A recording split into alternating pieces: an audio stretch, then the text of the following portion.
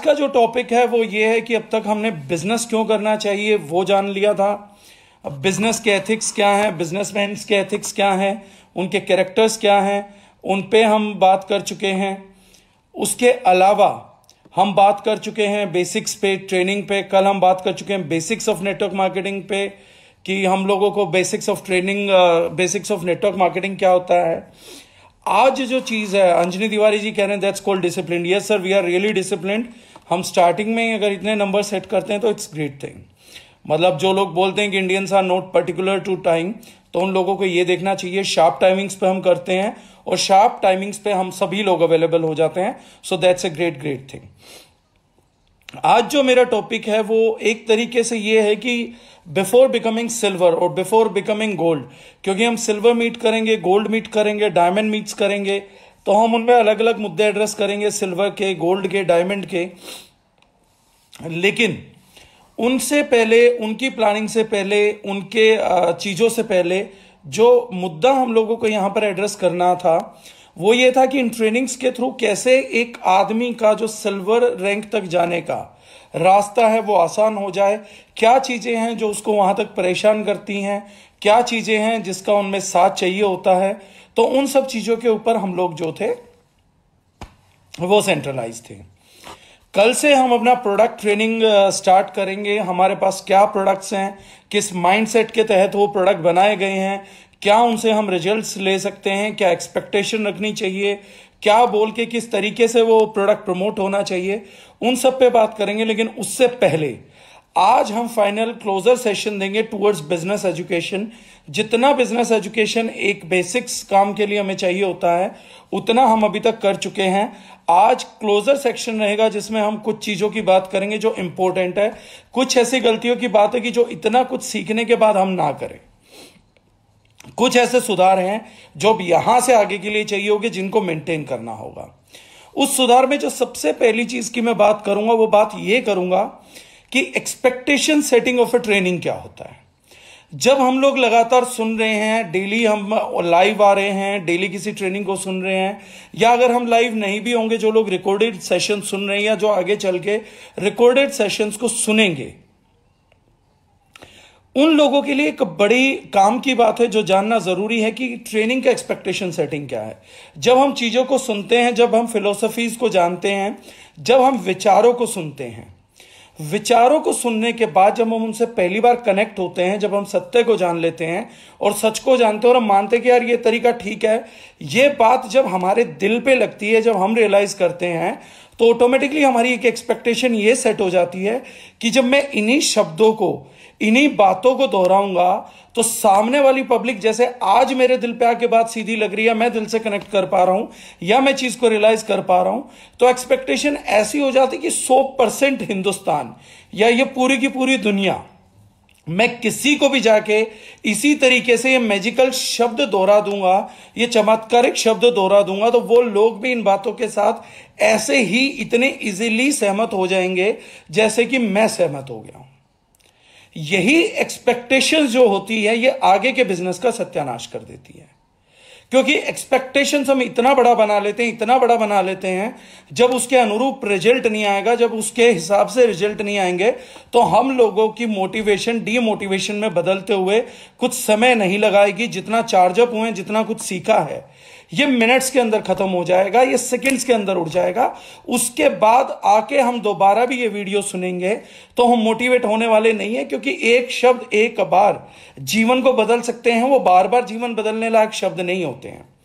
इसके लिए हमारे को यहाँ पे दो तीन चीज़ समझनी बड़ी ज़रूरी है। पहली बात तो ये है कि ये ट्रेनिंग या कोई भी ट्रेनिंग एक्सपेक्टेशंस किसी बाहर वाले से नहीं करनी होती है। जब भी हमें एक्सपेक्टेशंस रखने हैं ट्रेनिंग के एक्सपेक्टेशंस करने हैं तो हम किसी दूसरे से उम्मीद करें कि अभी हमारा उम्मीद क्या लग रहा मोटा मोटा कि जितेंद्र जी आए, उन्होंने कुछ बोला, डागर साहब ने कुछ आकर बोल दिया, वो मेरे शब्द जो थे, वाक्य जो थे, विचार जो थे, वो आके दिल पे लगे, मेरे को रियलाइज़ हुआ तो मैंने चीज़ों में सुधार करना चालू किया और मैं अंदर से फेद ज़्यादा हुआ मेरे को मेरे को विश्वास ज़्यादा पैदा हो गया प्लेटफॉर्म के लिए टीम के लिए मेंटोर के लिए। और जैसे मेरे अंदर फेद डेवलप होके, अब मैंने ये डिसीज़न ले लिया कि अब मैं यही करूँगा, लंबे टाइम तक करूँगा, सही तरीके से करूँगा।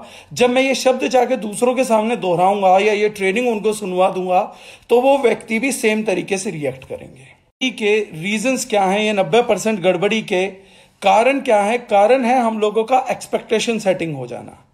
एक्सपेक्टेशन सेटिंग जो हमने बड़े गलत तरीके से कर लिया है। इस एक्सपेक्टेशन सेटिंग के तरीके में, क्योंकि डिस्कनेक्ट हो गया था, मैं दोबारा बोल देता हूँ। एक्सपेक्टेशन सेटिंग गलत तरीके से हो जाने का क्या मतलब रहता है हम लोगों के साथ? 20 से 30 परसेंट लोगों को हम कुछ भी समझा लें, उनकी समझ कुछ नहीं आना है। 20 to 30 percent people are not meant to understand any bloody damn thing उनके दिमाग जो बन चुके हैं, जो उनके दिमाग में कूड़ा आ चुका है, वो उनके दिमाग में कूड़ा आ चुका है। उस चीज़ का कोई इलाज नहीं हो सकता। वो क्लोज माइंडेड लोग हैं तो वो क्लोज माइंडेड लोग हैं। दूसरी हमें एक्सपेक्टेशन दूसरों से गलत है। सबसे पहले हमें यह देखना है कि हमने सुन के ट्रेनिंग से खुद में क्या बदलाव किया है। अगर हमें अपने अंदर कोई चेंज महसूस हो रहा है जो चीज़ें ट्रेनिंग में मैंने सीखी, अगर मैंने उनको अपनी पर्सनैलिटी में इंप्लीमेंट किया, अपनी लाइफ में इंप्लीमेंट किया, अगर उससे मुझे कुछ बदलाव महसूस हो रहा है, या मैं अपने आप को चेंज कर पा रहा हूँ तो कोई उम्मीद है कि उस चेंज को देख के फर्दर लोग जो होंगे, वो मोटिवेट होंगे। वो किसी के दोहराए हुए शब्दों से नहीं बनने वाला। आप किसी की कॉपी कर दे, जाके मिमिकरी कर दें। आप अमिताभ बच्चन का मिमिकरी करके पब्लिक को सुना दे, उससे आप अमिताभ बच्चन नहीं बनने वाले हैं। अगर आप सचिन तेंदुलकर को मिमिक कर दे तो उससे कोई सचिन तेंदुलकर नहीं बन सकता है। इसी तरीके से कोई सलमान खान को मिमिक करके सलमान खान नहीं बन पाया। तो हम किसी को मिमिक करने की बजाय अगर खुद को आगे लेके जाने की कोशिश करें तो ज़्यादा अच्छा रहता है। प्रिंसिपल आप मेरे से सीख सकते हैं बुक से सीख सकते हैं। बहुत सारे मेंटोर और हैं यूट्यूब पे वीडियोस हैं। रोबिन शर्मा जी हैं जय शेट्टी हैं। बहुत सारे और लोग हैं जो प्रयासरत हैं कि एक व्यक्ति को कैसे ट्रांसफॉर्म किया जाए। जिन व्यक्तियों ने आपको सक्सेस देना, जिन व्यक्तियों ने आपको लेके आगे बढ़ना है, उन्हें मेरे शब्दों के माया जाल से कोई मतलब नहीं है। वो इन्हीं सेम शब्दों पे सेम फ्रीक्वेंसी के साथ रिएक्ट नहीं करेंगे। उन्हें अगर ज़रूरत पड़ेगी तो आपकी सच्चाई की ज़रूरत पड़ेगी, आपके पर्सनैलिटी का ज़रूरत पड़ेगा, आपको ट्रांसफॉर्मेशन का ज़रूरत पड़ेगा। मेरे शब्द आपके लिए कामयाब हैं आप तक असर पहुँचा रहे हैं, लेकिन वो उन शब्दों का यूज़ करके, अगर आप अपने आप में चेंज लाते हैं, अपनी पर्सनैलिटी में वो चेंजेस लेके आते हैं, जिनकी बात हम पिछले पाँच सात दिनों से कर रहे हैं तो उन्हीं चेंजेस को लेकर, उन्हीं चेंजेस को आपकी पर्सनैलिटी में देख के आपका तड़का लगना बहुत ज़रूरी है। दाल भले ही आप मेरे से खरीद के लेके जा सकते हैं, लेकिन टेस्ट, तड़का आपके हाथ का चाहिए। एक मूंग और मसूर की दाल होती है, या राजमा बना है, या चना बना है तो वही चना है, वही राजमा है। अगर एक ही खेत का चना भी अगर हम 500 इंसानों में बांट दें 800 इंसानों में बांट दें तो हर व्यक्ति के अंदर अपनी एक खूबी है कि उस व्यक्ति के हाथ का टेस्ट अलग होगा, उसके नमक, मिर्च, जीरा अलग होगा, और कोई व्यक्ति ये नहीं बोल सकता कि किस एक की डिश जो थी वो सबसे टेस्टी थी। एक्चुअली हर डिश का अपना टेस्ट है, हर डिश की अपनी बेहतरी है, और जितनी डिफरेंट डिफरेंट डिश हम ट्राई करेंगे, जितने अलग अलग हाथों से ट्राई करेंगे, उतना ही बेहतर है, और इस संसार में वही ज़रूरत है। इस संसार को जितनी ज़रूरत मेरी ट्रेनिंग की है, या आप लोगों को लगता है कि आपको मेरी थी, उससे ज़्यादा इस दुनिया को ज़रूरत कल के बाद से, इन ट्रेनिंग सेशंस के बाद से, आगे से आपकी ज़रूरत है और आपके ट्रांसफॉर्मेशन की ज़रूरत है। जो प्रिंसिपल्स मैंने आपको बताइए आप तक इसलिए पहुँच पाए क्योंकि वो मैंने रटे नहीं थे। यो मैं किसी बुक से पढ़ के मगअप करके आपसे बात नहीं कर रहा हूँ। उन प्रिंसिपल्स को मैंने कभी कहीं पढ़ा, कभी किसी से सुना, कभी कहीं पे देखा, सीखा। उसके बाद मैंने अपनी ज़िंदगी में उन प्रिंसिपल्स का हाथ थामा, उनको होल्ड किया और उनके रिज़ल्ट निकाले। जब रिज़ल्ट निकाले तो आज मुझे उन प्रिंसिपल्स पे बात करने के लिए कोई फर्रा नहीं देखना पड़ता, कोई बुक नहीं पढ़नी पड़ती, किसी वीडियो को रटने की ज़रूरत नहीं है, किसी के कोई मैजिकल शब्द नहीं पकड़ने में आते। मैं उन चीज़ों को जहन में बैठा हूँ और अपने आप से बात करके सेल्फ टॉक में बात करके भी लगातार एक घंटा, दो घंटा, चार घंटा, छह घंटा बात कर सकता हूँ। अगर मैं ये टाइम इस तरीके से खो दूँगी यार उस टाइम उसने क्या कहा था? रोबिन शर्मा जी ने इसके आगे क्या बोला था? या शिवखेड़ा जी इसके आगे क्या कहते हैं? या सदगुरु जी क्या बोलते हैं? ऐसी अगर हज़ारों चीज़ें एक साथ मेरे दिमाग में आने लग जाएँगी तो यकीन मानिए, कोई भी व्यक्ति बिना फर्रे के उनके बात नहीं कर पाएगा। और यही पर्सनैलिटीज अगर हमारे को इंस्पायरिंग लगती है, और यही कुछ चीज़ें आपके अंदर जा रही हैं तो इस संसार को नेक्स्ट जिस इंसान की ज़रूरत है, वो वो इंसान आप है। मेरी ट्रेनिंग का बस फ़ायदा आप तक पहुँच सकता है। आपके माध्यम से यह है कि कुछ लोगों तक और भी पहुँच जाए, लेकिन ये दुनिया तब बेहतर होगी, ये बिज़नेस सबसे बड़ा तब होगा, ज़्यादा से ज़्यादा बड़ा तब होगा, जब यही मेरे वाली ट्रेनिंग आपका दिल और दिमाग आपके संयोग बनाए, और आप किसी को बिना फर्रे के, बिना याद करें कि मैंने क्या सुना था, क्या बोला था, बिना शब्दों को दोहराए। बिना शब्दों के रिपीटेशन किए। अगर आप लोग इन्हीं ट्रेनिंग्स को आगे बता पाने में कामयाब हो जाते हैं, वो दिन है जब मैं ये मानता हूँ कि इन ट्रेनिंग्स की कोई जीत हुई थी, इस ट्रेनिंग्स का कोई प्रोडक्ट मार्केट में गया था, उस प्रोडक्ट ने प्रोडक्ट ऑफ़ द प्रोडक्ट बन के दिखाया है। उसके लिए जैसे बहुत से लोगों से मेरी जब टेलीफोनिकली बात हुई है तो उन लोगों ने बोला कि जो हमारा एक सेशन था जिसमें मैंने बोला था कि आपकी लाइफ में अगर कोई भी व्यक्ति आपके लिए कुछ भी करता है, थोड़ा भी करता है, उस व्यक्ति के प्रति एहसानमंद होना चाहिए ग्रेटिट्यूड रखना चाहिए, कृतज्ञता का भाव होना चाहिए, हमें थैंक यू बोलना चाहिए। जब याद आ जाए, जहाँ याद आ जाए, अगर आज तक थैंक यू नहीं बोला है तो सामने से जाइए और उन लोगों को थैंक्स करना मत भूलिए। क्योंकि उन लोगों ने हमारी ज़िंदगी में कैसे भी करा, कुछ भी करा, हम लोगों की लाइफ में कंट्रीब्यूट किया है। इस सेशन को जिन लोगों ने किया, मुझे बड़ी खुशी हुई कि बहुत से लोगों ने मुझे कॉल किया और बहुत से लोगों को जब मैंने कॉल की, उनसे बात हुई तो उन लोगों ने असलियत में इस प्रिंसिपल्स को आजमा के देखा। अमान से जब मेरी बात हुई थी तो अमान ने कहा कि जब मैंने पहली बार कई दोस्त छोड़ दिए थे और मैंने उनको फ़ोन किया, क्योंकि मैं जानता था कि उन सबने मेरी लाइफ में कंट्रीब्यूट किया है तो अमान ने सबसे बढ़िया बात क्या बोली कि, सर, जब मैं फ़ोन करने वाला था तो मेरे हाथ बड़े काँप रहे थे। मेरा दिल जो आप बता रहे थे कि बहुत स्पीड से धड़कने लगा था, वो बहुत स्पीड से धड़कने लगा था, लेकिन जब मैं आपकी ट्रेनिंग सुन रहा था तो जब आपने बोला कि this would be a difficult work ये मुश्किल काम है तो मुझे वाकई में लगा नहीं था कि ये मुश्किल काम है। मुझे लगा था ये तो आसान काम है फ़ोन उठाना, दोस्तों को थैंक यू ही तो बोलना, बोल दूँगा। लेकिन अमान ने कहा कि जब मैंने थैंक यू बोलने के लिए फ़ोन उठाया और दोस्तों के चेहरे दिमाग में आए और उनकी बातें याद आई और पिछला टाइम याद आया जिसमें हम कनेक्टेड नहीं रहे तो ये दिल बड़ी स्पीड से धड़कना चालू हो गया और एक बार हिम्मत नहीं पड़ी कि मैं फ़ोन करके उन लोगों को थैंक यू बोलूँ। लेकिन जितने लोगों ने भी ये करा, उन्होंने ड्रामेटिकली एक बात मुझसे लगातार शेयर करी कि हम इस काम को करने के बाद बड़ा हल्का महसूस कर रहे हैं। बड़ा बोझ सा उतर गया, ऐसा महसूस कर रहे हैं। उन लोगों के लिए भी और बाकी लोगों के लिए भी मैसेज है जिनसे मेरी टेलीफोनिकली बात नहीं हो पाई, लेकिन जिन्होंने ट्रेनिंग्स में एक चीज़ करके देखी है, कईयों ने और भी चीज़ें ट्राई किया है।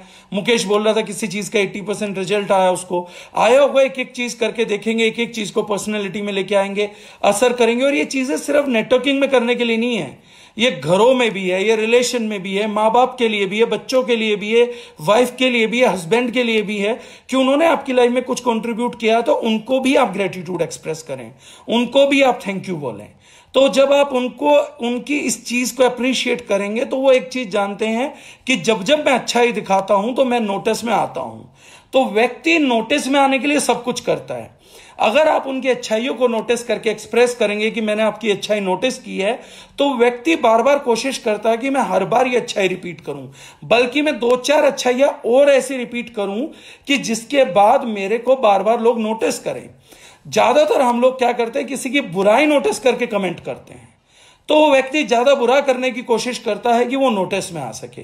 इसी तरीके से अगर हम अच्छाइयों को नोटिस करने लगे किसी व्यक्ति की तो व्यक्ति बार बार कोशिश करेगा कि वो व्यक्ति जो है वो अच्छाई फैला सके, अच्छाइयाँ कर सके। तो किसी की भी अच्छाई को नोट करके एक्सप्रेस करने से आपका सबसे बड़ा फ़ायदा ये होता है कि आप समाज में चाहे अनचाहें बहुत सारी अच्छाइयाँ ब्रिंग करना चालू कर देते हैं।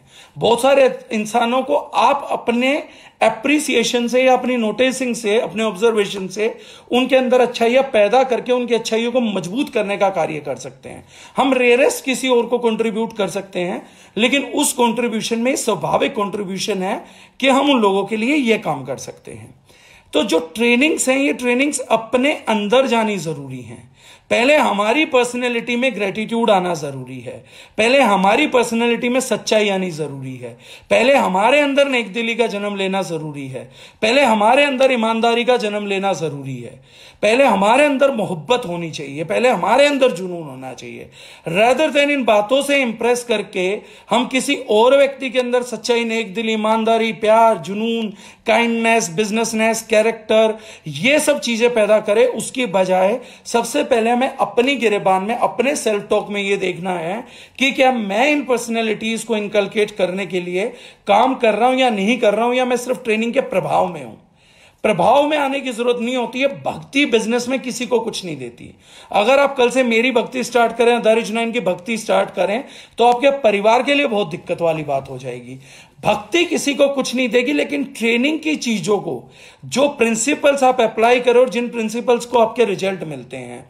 उन प्रिंसिपल्स को लाइफ में प्रैक्टिस करने से कामयाबी आएगी। किसी की बातों के भक्त हो जाने से, किसी ट्रेनिंग के भक्त हो जाने से, कभी भी अपने निजी जीवन में कोई सुधार नहीं आता है।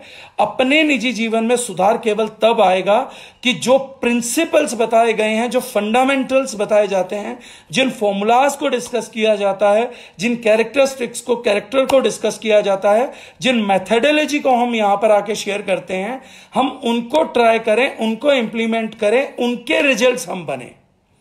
उनका रिज़ल्ट किसी दूसरे पे डायरेक्ट नहीं निकलेगा।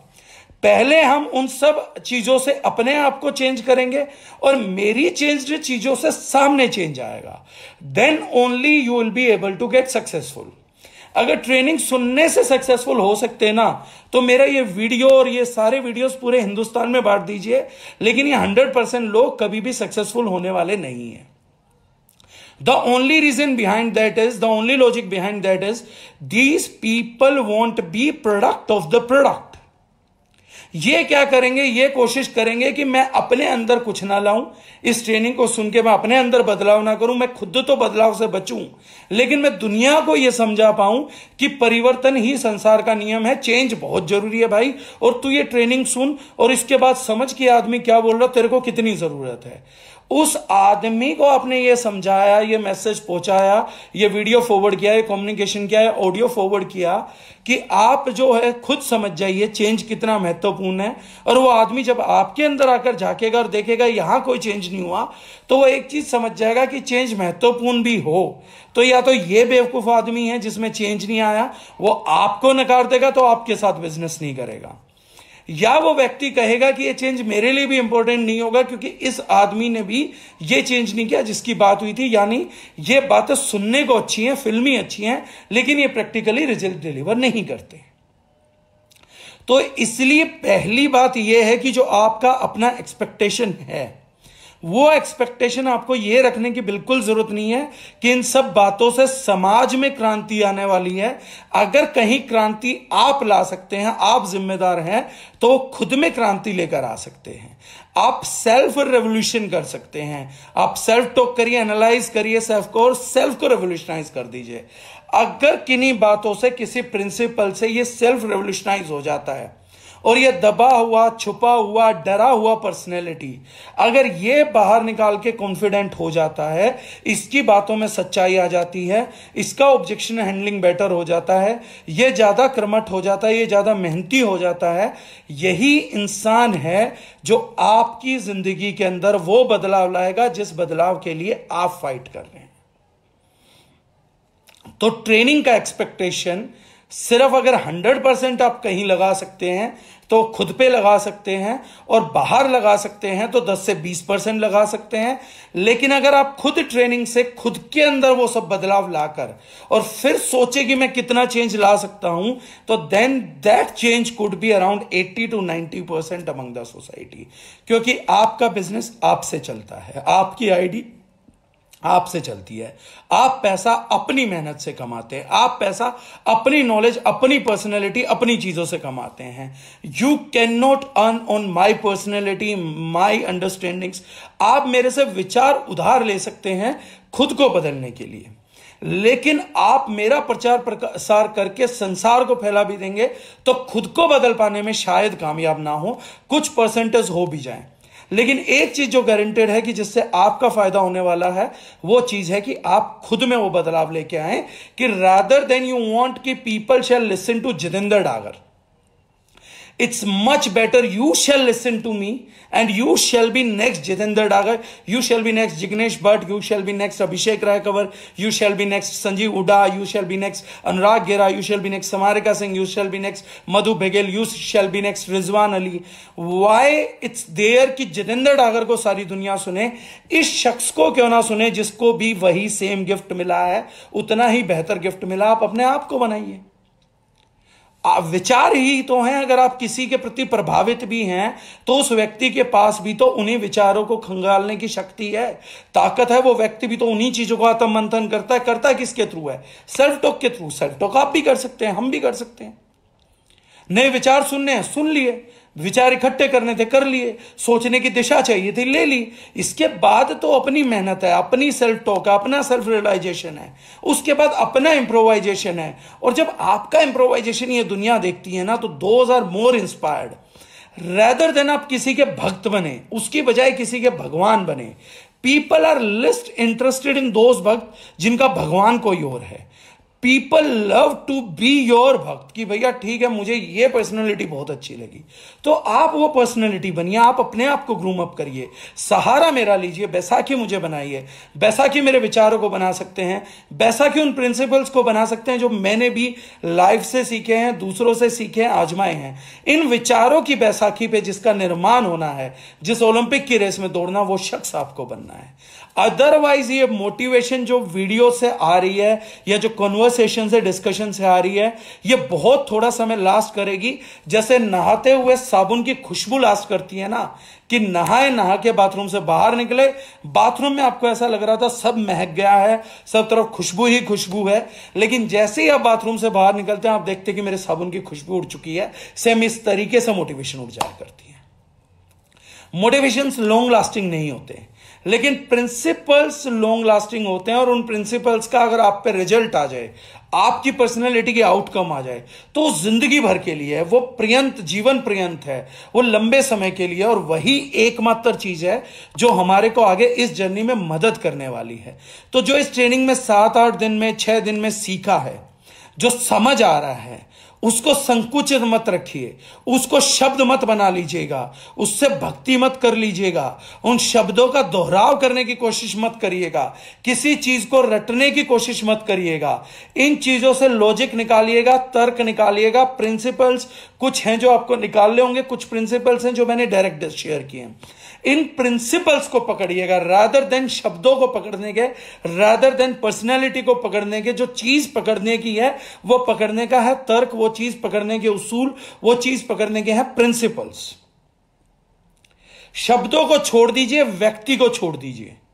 लेकिन तर्कों को पकड़िए प्रिंसिपल्स को पकड़िए और उनको पकड़ के उनको अपना बना लीजिए। जैसे वो थे किसी और के, बताए किसी और के हुए थे, मैंने अपने बना लिए तो आज मुझे मदद कर पा रहे हैं। कल इन्हीं को आप अपना बना लीजिए। ये आपकी मदद कर पाएँगे। इन शब्दों के, इन प्रिंसिपल्स की वफादारी ना बड़ी अजीब सी है। जिसका खाते हैं उसका हो जाते हैं। अगर आपका थोड़ा सा दिमाग इन्होंने खाया थोड़ा सा समय आपका खाया थोड़ी सी आप किसी और से बातचीत नहीं कर सकते हैं, आपके पास कोई लाइक माइंडेड आदमी नहीं है तो आप सेल्फ टॉक कर लीजिए। आप तो खुद के लिए लाइक माइंडेड आदमी है। इन्हीं विचारों पे थोड़ा सा इन विचारों को समय दीजिए। थोड़ा सा इन विचारों को आप अपनी ब्रेन की एनर्जी दीजिए, अपना थोड़ा सा समय दीजिए, रिसोर्सेज दीजिए। ये विचार वफादारी बदल के जितने आज मेरे हैं, जितने किसी और महान शख्स के थे, कामयाब लोगों के जितने हैं, उतने ही ये आपके लिए बन जाएँगे कल। उतना ही रिज़ल्ट आपको देना चालू कर देंगे। ये प्रकृति के नियमों से बंधे हुए तर्क हैं। इसलिए कभी भी आपको दगाबाजी नहीं देंगे, धोखेबाजी नहीं करेंगे। शब्द आपको धोखा दे जाएँगे जब आपको ज़रूरत होगी। तो शब्द आपका साथ छोड़ जाएँगे। जब आपको ज़रूरत होगी तो एक इंसान की जिसके प्रति आप भक्ति दिखा रहे हो, वो सब जगह मौजूद नहीं होगा। लेकिन एक बार ये प्रिंसिपल्स हमारी लाइफ में आ गए, एक बार ये तर्क हमारी ज़िंदगी में उतर गए तो हम इनको हर जगह, हर समय, हर किसी के सामने लेकर घूमेंगे। और जब ये हर जगह, हर समय, हर किसी के सामने जाएँगे तो रिजल्ट्स ऑटो ऑटोमेटिकली आएँगे। चुंबक को एक जगह रख दीजिए। लोहा अपने आप खिंचा आ जाता है। बशर्ते चुंबक में मैग्नेटिक पावर हो अट्रैक्ट करने की क्षमता हो अट्रैक्ट करने के आयंस हो अट्रैक्ट करने की पूरी की पूरी काबिलियत हो। इन सभी तर्कों का यूज़ करके हमने एक्सट्रीम में अपने आप को पीपल मैग्नेट में कन्वर्ट करना है कि हम बीच पार्टी जाके खड़े हो जाएँ, कुछ भी पहन के खड़े हो जाएँ, कैसा भी ओढ़ के खड़े हो जाएँ तो हमारी बातों में वसोर हो, हमारे विचारों में वो असर हो कि चारों तरफ़ से जितने भी लोग हैं वो सभी लोग मेरी तरफ़ खींचे चले आए, वो विचारों से प्रभावित होना चालू हो जाए, बजाय इसके कि हम उनको ये बताएँ कि मैं एक व्यक्ति की वीडियो सुनवाऊँगा या मैं एक वीडियो भेजूँगा या एक ऑडियो तेरे साथ शेयर करूँगा तो उस व्यक्ति को सुनियो, तेरा जीवन बदल जाएगा। इसके बजाय सामने खड़े खड़े एग्ज़ाम्पल दो, उसको वो व्यक्ति ही दे दो। वो व्यक्ति नहीं जिसकी वीडियो थी, वो व्यक्ति जो सामने खड़ा है, उसको वो व्यक्ति दे दो कि वो कह रहा बोले कि मैं तेरे को देख के देख रहा हूँ तो मेरी ज़िंदगी बदल रही है। मैं तेरे को सामने खड़ा देख रहा हूँ तो मुझे मोटिवेशन मिल रहा है। मैं तेरे को देख रहा हूँ, मुझे एनर्जी मिल रही है। मैं तेरे को सुन रहा हूँ तो मुझे ऐसा लग रहा है कि कुछ दुनिया बदल रही है। मैं तेरे को देख रहा हूँ तो मुझे पता लग रहा है कि इस नेगेटिव दुनिया में भी हरियाली है।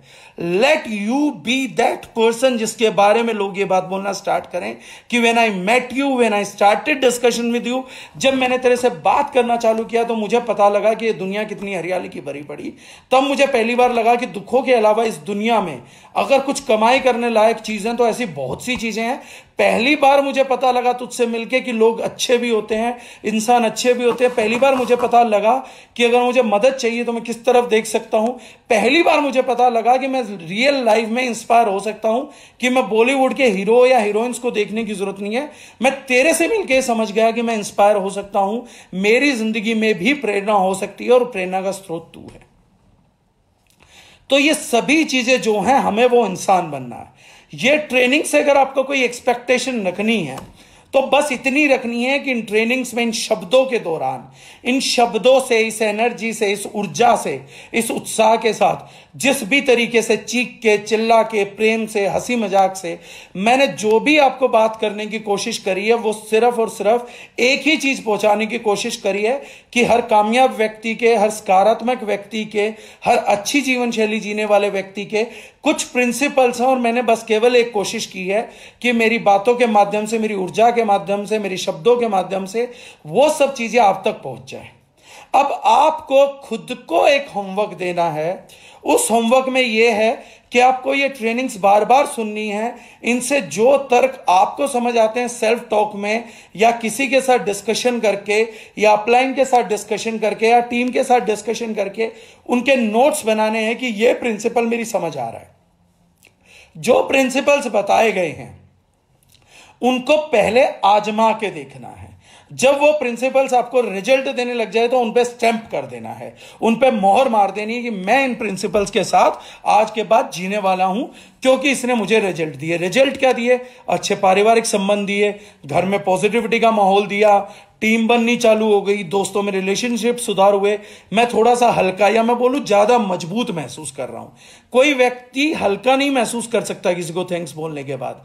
एक्चुअली में क्या है? थैंक्स बोलने के बाद आपको एक बाय डिफ़ॉल्ट एक इनहेरिटेड मजबूती आ जाती है। पहले जो विचार आपके दिमाग पे बोझ बन के बैठे हुए थे, जिन विचारों ने आपको दबा के रखा हुआ था, जिसकी वजह से आपकी पर्सनैलिटी आपका व्यक्तित्व कमज़ोर हो रहा था। वो विचार, वो पर्सनैलिटी किसी को थैंक यू बोलने के बाद मज़बूत हो गए।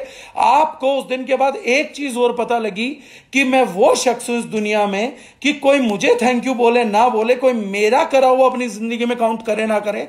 लेकिन मेरे पास एक अद्भुत ताकत है, मेरे पास एक अद्भुत शक्ति है एक एनर्जी है कि मैं दूसरों को थैंक यू बोल सकता हूँ। आपको पहली बार अपनी उस ताकत का आमना सामना हुआ, जो ताकत आप में बहुत पहले से प्रकृति ने दे रखी थी, ईश्वर ने दे रखी थी, लेकिन आपने उस पर कभी काम ही नहीं किया। आपको लगता ही नहीं था कि इस झूठों की और कृतघ्न दुनिया में, आभार ना मानने वाली दुनिया में थैंक यू ना बोलने वाली दुनिया में, मैं एक पर्सनैलिटी हूँ जिसमें आज भी ताकत है कि वो अच्छाई को और सच्चाई को प्रैक्टिस कर सकता है। मैं वो ताकत हूँ जो आज भी दूसरों को थैंक यू बोल सकती है। मैं वो शख्स हूँ, मैं वो पर्सनैलिटी हूँ जो दूसरों को उनके गंदे एक्शनों के बावजूद भी सही दिशा में जाके एड्रेस कर सकता हूँ। मैं वो शख्स हूँ जो छोटे सोचो लोगों की छोटी सोच देखने, महसूस करने के बाद भी उसको नकार के, उनकी अच्छाइयों और खूबियों को ढूंढ के उनको उस चीज़ के लिए शुक्रिया अदा कर सकता हूँ। यह जो एक छुपी हुई ताकत थी जिसपे हमने पर्दा डाला हुआ था, ये ताकत अनलॉक हो जाती है किसी को फ़ोन करके थैंक यू बोल देने से। ये एक प्रिंसिपल है कि जिस ताकत के भंडार को आपने ज़बरदस्ती नेगेटिव दुनिया को सुन सुन के, सुन सुन के, सुन सुन के छुपा लिया है और इतनी बड़ी ताकत के हथियार को आपने एक्सरसाइज करना बंद कर दिया है, उन जंग लगे हथियारों को बाहर निकालिए। ये वो समय है जब हमारे को इन चीज़ों की आवश्यकता पड़ने वाली है। तो वो हल्कापन नहीं था। वो उस दिन पर्सनैलिटी में मजबूती थी। एक किसी छोटे बच्चे को अगर हम पंद्रह लीटर का या पंद्रह किलो का डंबल दे देंगे तो वो व्यक्ति या हम पहले दिन जिम जाते हैं, पाँच किलो का डंबल मारते हैं तो पाँच या दस बार डंबल की एक्सरसाइज हम करते हैं रिपीटेशन करते हैं तो डंबल इतना भारी लगने लगता है कि दस रिपीटेशन के बाद हम छोड़ देते हैं। लेकिन एक महीने के बाद जब हम वो एक्सरसाइज बार बार बार बार कर चुके होते हैं और कोई आदमी हमें बोलेगा कि पाँच किलो का डंबल कर ले तो हम उसे एक बात बोलेंगे, यार, मैं एक घंटा जिम करने के लिए आया हूँ। ये पाँच किलो का डंबल तो मुझे दस घंटे भी नहीं थका पाएगा, क्योंकि अब मेरे शरीर की क्षमता बढ़ चुकी है, मेरे शरीर की ताकत बढ़ चुकी है। ये जो पाँच किलो का डंबल नए बच्चों से नहीं लगता ना, इस पाँच किलो के डंबल को तो मैं एक महीने से ढाई सौ ढाई सौ, पाँच सौ पाँच सौ रिपीटेशन मार रहा हूँ। I need more weight to do in little time मेरा वज़न बढ़ा दे ताकि मैं कम टाइम में ही वो रिज़ल्ट आउटपुट ले आऊँ, जिसकी की मुझे ज़रूरत है, क्योंकि पाँच किलो तो मेरे ऊपर रिज़ल्ट देने के लिए दस साल भी पर्याप्त नहीं है, क्योंकि इतना तो मैं ऑलरेडी कर चुका हूँ। तो आप उसके बाद वो डंबल ये नहीं बोल सकते कि मेरा डंबल हल्का हो गया, या मेरा जो वेट्स थे डंबल के वो अब हल्के हो गए हैं। आप में एक अद्भुत ताकत आ गई है पंद्रह दिन एक्सरसाइज करने के बाद, एक एक्सरसाइज रिपीटेटिव करने के बाद, आपके शरीर ने, आपके बाइसेप्स ने, आपकी मांसपेशियों ने वो मजबूती हासिल कर ली है कि आपको ये डंबल का वज़न वज़न लगता ही नहीं है। आप बोलते हैं, ये डंबल तो बहुत हल्का है, मेरा तो इससे काम भी नहीं होता आज की तारीख में। इसी तरीके की ताकत जब हमारे शरीर को बदलती है तो ये जो प्रिंसिपल्स मैंने बताई वही डंबल हैं जो हमारी मानसिक ताकत लगाते हैं। ब्रेन का कोई एक्सरसाइज नहीं है। ब्रेन से आप डंबल उठा के इसको मज़बूत नहीं कर सकते। ब्रेन के लिए अगर कोई चीज़ डंबल का काम करती है तो वो विचार करते हैं। आप कितना बड़ा विचार उठा सकते हैं। उस पर कितनी देर सेल्फ टॉक कर सकते हैं? या उस पर कितनी देर लाइक माइंडेड आदमी के साथ बात कर सकते हैं? जब हम ब्रेन के साथ एक्सरसाइज करते हैं, विचारों को मशीन बना लेते हैं और कलीग्स को लाइक माइंडेड को या खुद को ट्रेनर बना लेते हैं कि मैं खुद का ट्रेनर हूँ। अगर जिम में कोई ट्रेनर नहीं होगा दोस्त तो किसको ट्रेनर बनाएँगे? खुद को ही तो ट्रेनर बनाएँगे। फिर जो आता है, जहाँ से सीखा है, उसी को आजमाएँगे सेल्फ टॉक करेंगे। अगर कोई लाइक माइंडेड मिल जाता है, कोई ट्रेनर मिल जाता है, कोई मेंटोर मिल जाता तो उसके साथ करेंगे।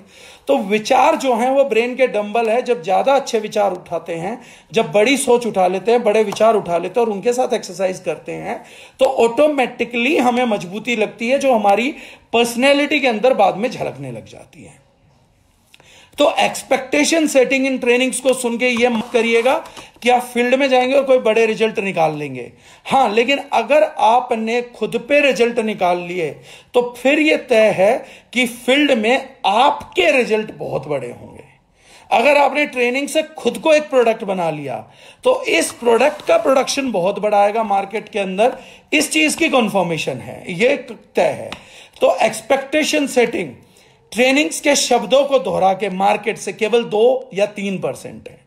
ये वीडियो फॉरवर्ड करके टीम ज्वाइन करा के 10 से 20 परसेंट है 30 परसेंट हो जाएगी। ऑडियो सुनवा के भी इतना ही रेशो मिलेगा।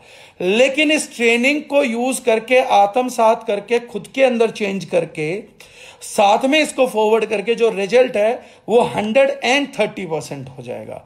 तो अगर आपको सफलता गारंटेड चाहिए, बीस तीस परसेंट नहीं चाहिए, दो तीन परसेंट नहीं चाहिए तो हमारे को काम क्या करना पड़ेगा? We need to be product of the product and product is training and next product should be you तो ये मेरा आज जब ये मैं सेशन बिज़नेस के एंड करने जा रहा हूँ, या आज कंप्लीट करने जा रहा हूँ तो उसमें ये है। अप्लायंस आजकल मैं देख रहा हूँ कि अप्लायंस इन दोनों ट्रेनिंग्स के दौरान अपनी टीम को कॉल नहीं करते लाइव सेशन सुना, घर बैठ गए, मैंने फ़ोन कर लिया फीडबैक पूछ लिया। लाइक माइंडेड लोग आपस में बात ही नहीं कर रहे हैं। लोगों ने अपनी टीमों से डिस्कस ही नहीं किया कि तुझे ट्रेनिंग में क्या अच्छा लगा, क्या सुना, क्या बढ़िया लग रहा है, तेरे क्या विचार इस बारे में? इतना गोल्डन टाइम ऊपर वाले ने दे रखा था, लेकिन हम लोग क्या कर रहे हैं, उसको व्यर्थ कर रहे हैं। सेशन सुना ड्रॉप कर दिया सेशन सुना ड्रॉप कर दिया। एक दो घंटे से सब कुछ नहीं बदलने वाला। जो लोग ये मान लेते हैं, भैया, मेरे तो एक्सपेक्टेशन क्या है? मेरी टीम ने सुन ली, वो बूस्ट थे, अब तो काम हो गया ऑटो मोड में काम हो जाएगा। कोई काम ऑटो मोड में नहीं होने वाला बॉस आप अपनी सफलता को खुद रचेंगे, पहले से लेके लास्ट तक लेके जाएँगे। सफलता लगातार किए गए प्रयासों का नतीजा होती है, किसी दूसरे के कंधे पे बैठ के चीज़ें नहीं हुआ करती। अपलाइन जो हैं वो अपने टीम को कॉल करें टीम अपनी अपलाइन को कॉल करें। उसके बाद भी इन मुद्दों पे डिस्कस होगा, तब कहीं जाके ये मुद्दे जीवन में आना चालू होंगे। टीम अपलाइन से पूछें। कि सर आपने कौन कौन सा चेंज किया? आपने किस चीज़ को बेहतर समझा? आपने कुछ करके देखा? आपने किसी को थैंक यू बोल के देखा? सवाल करिए अपनी अपलाइनों से। अपलाइन अपनी टीमों से सवाल करे कि तूने कुछ करके देखा? कोई प्रिंसिपल अपना के देखा? क्या अच्छा लग रहा क्या बेहतर लग रहा है?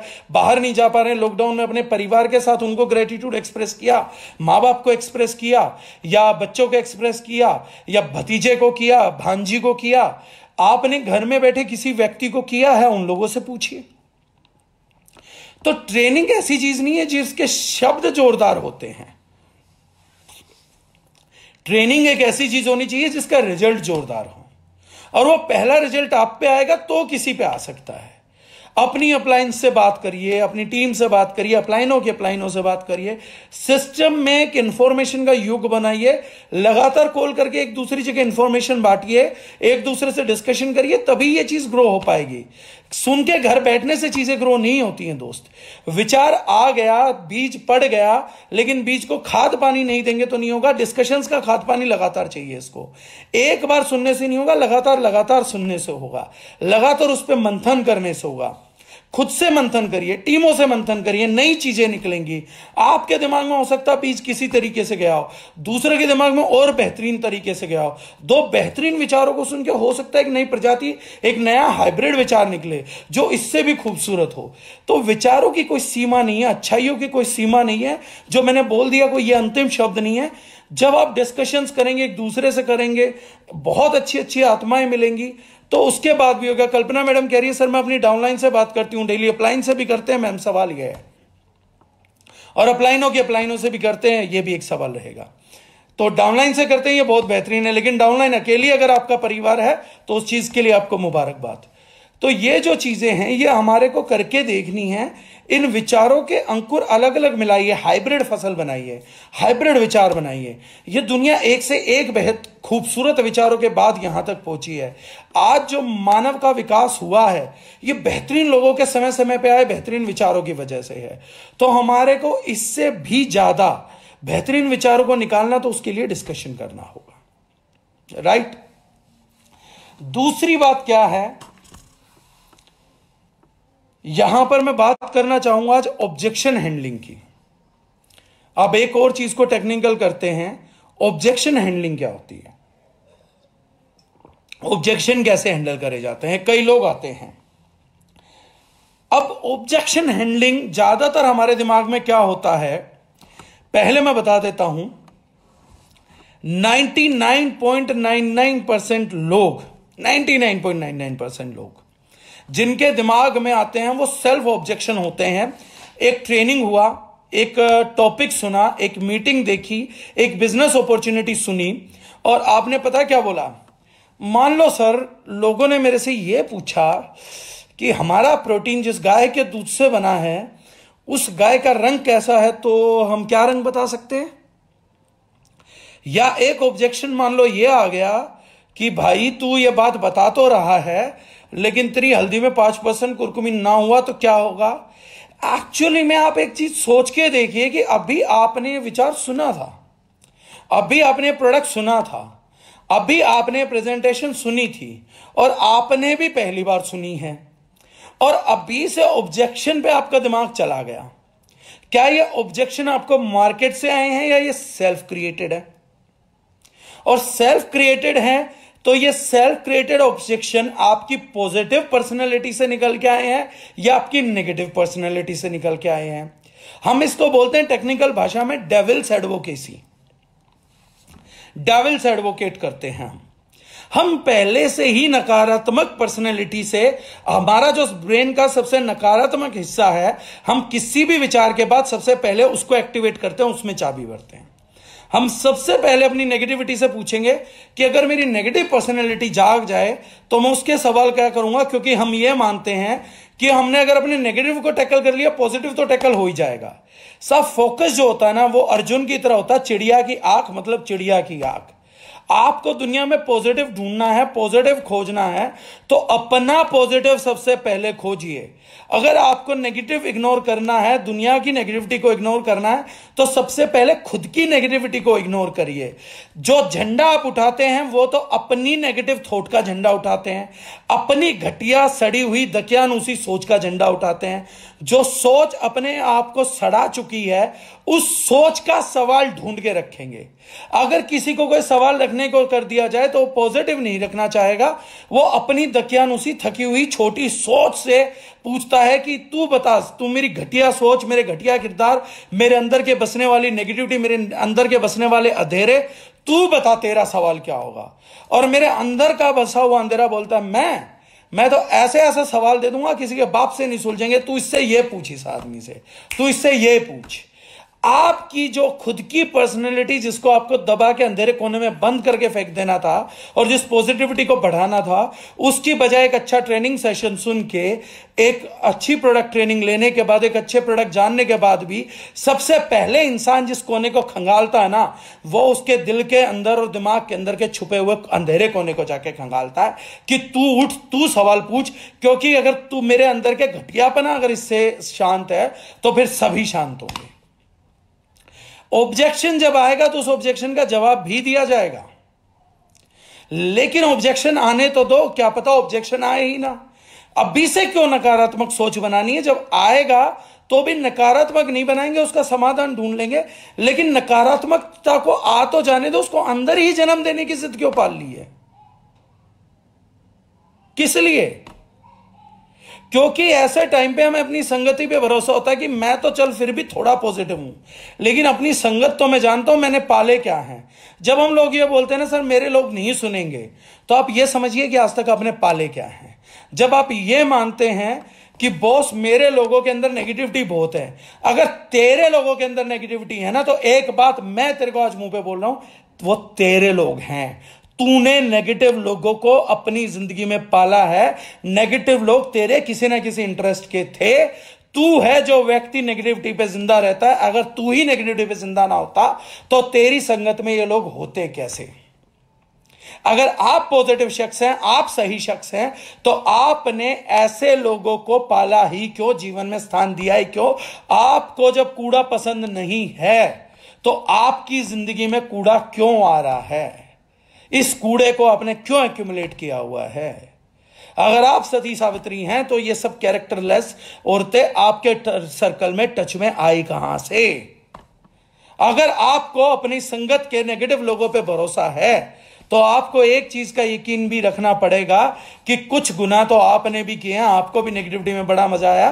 तभी तो ये पाल के बैठे और अगर आज ये सुधार आप अपने आप से नहीं करेंगे और संगत नहीं बदलेंगे तो फिर इस ज़िंदगी का नरक बनना तो तय कर दिया। हमने बता दिया है कि मैं डेविल्स एडवोकेसी करता हूँ डेविल्स के प्रिंसिपल से जीता हूँ, और मेरी लाइफ भी शैतान आधारित लाइफ होगी। इस ज़िंदगी में कभी भी हरियाली नहीं होगी। इस ज़िंदगी में सब कुछ ब्लैक एंड व्हाइट रहने वाला है। हम अपनी ज़िंदगी के नेगेटिव लोगों को सपोर्ट नहीं करते हैं, बल्कि उनको सपोर्ट करते हैं। सपोर्ट करने की बजाय सपोर्ट कर देते हैं।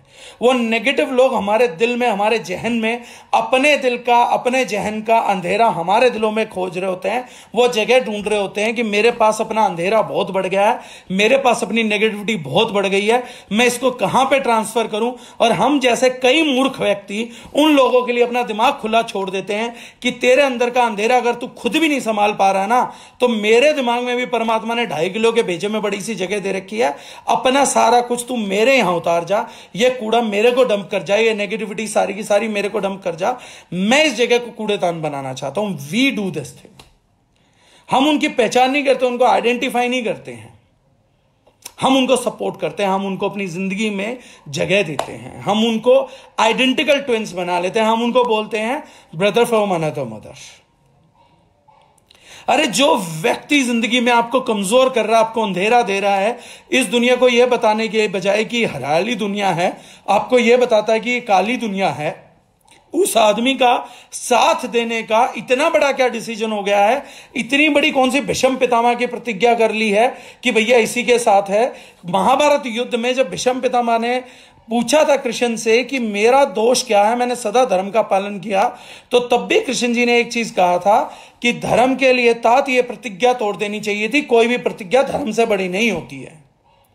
आज जीवन में बानों के शैया पे लेटे और वो भी अपने प्रिय पोते के हाथों लेटे हो तो उसके पीछे ये झूठी प्रतिज्ञा थी जो ले ली थी कि मैं भले ही अधर्म का साथ दे दूँ, लेकिन प्रतिज्ञा नहीं छोड़ूँगा अपनी, अपने शब्द नहीं छोड़ूँगा।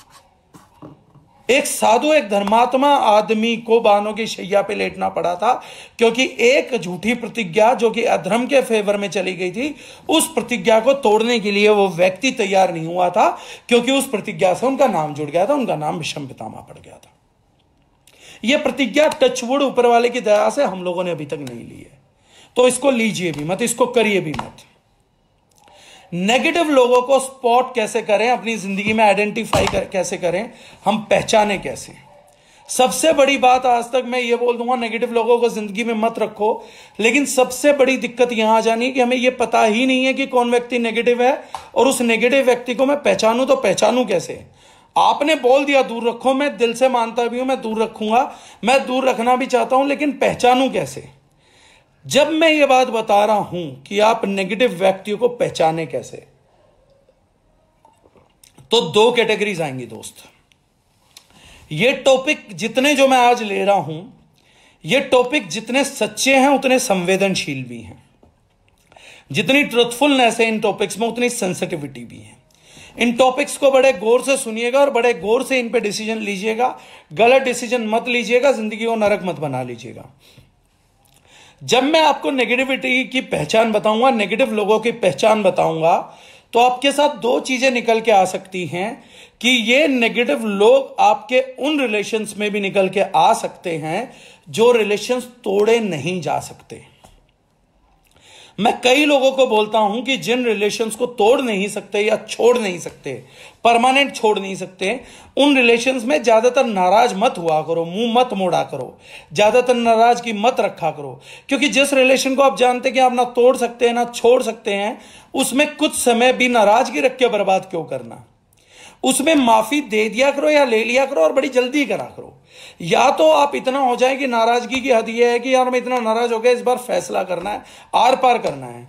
और जिस रिलेशंस को हम आर पार कर ही नहीं सकते हैं, उसमें नाराज़गी की जगह नहीं होती, उसमें माफ़ी की जगह होती है। उसमें जल्दी माफ़ कर देना चाहिए। वो नहीं कर रहा, आप कर दो, आप नहीं कर रहे, वो कर दो। इसमें ऐसे सवाल नहीं लाने चाहिए कि मैं कितनी बार करूँ। अरे जब जो रिश्ता नहीं टूट सकता तो उसमें तू हज़ार बार कर, करोड़ बार कर, लाख बार कर, फ़र्क क्या पड़ता है इस चीज़ से भाई? करते ही रहना पड़ेगा, क्योंकि रिश्ता ना तोड़ा जा सकता, ना छोड़ा जा सकता। तो अगर वो लोग नेगेटिव आपको हमारी लिस्ट में से भी निकल रहे हैं तो उनको ताने मारने स्टार्ट मत कर देना कि मुझे पता लग गया तू नेगेटिव है, तू नेगेटिव है, तू नेगेटिव है। या तो उन लोगों में सुधार लेकर आइए, आप अपनी पर्सनैलिटी के सुधार से उनको अवगत कराइए, उनको आपका और महसूस होने दीजिए। और अगर ये नहीं हो सकता तो उन लोगों के साथ नेगेटिवली बिहेव मत करिएगा कम से कम। ये फ़र्स्ट चैप्टर है, ये फ़र्स्ट बात है जो मैं आप लोगों से बोलना चाहता हूँ।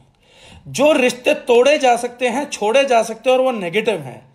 तो उन्हें तोड़ दीजिए, छोड़ दीजिए। मैं भी सुबह से शाम तक चार पाँच बंदे ब्लॉक कर ही देता हूँ फेसबुक पे। जवाब भी नहीं देता। पता लगा कमेंट का दर्जा बहुत घटिया था दोम दर्जे का कमेंट था। बड़ा नेगेटिव बात बोला, उठाया ब्लॉक कर दिया। जवाब भी नहीं देना। क्योंकि ये एक ऐसा रिश्ता जिसको तोड़ भी सकता हूँ, छोड़ भी सकता हूँ। और रिश्ता ना टूटे तो बंदा भी तोड़ सकता हूँ।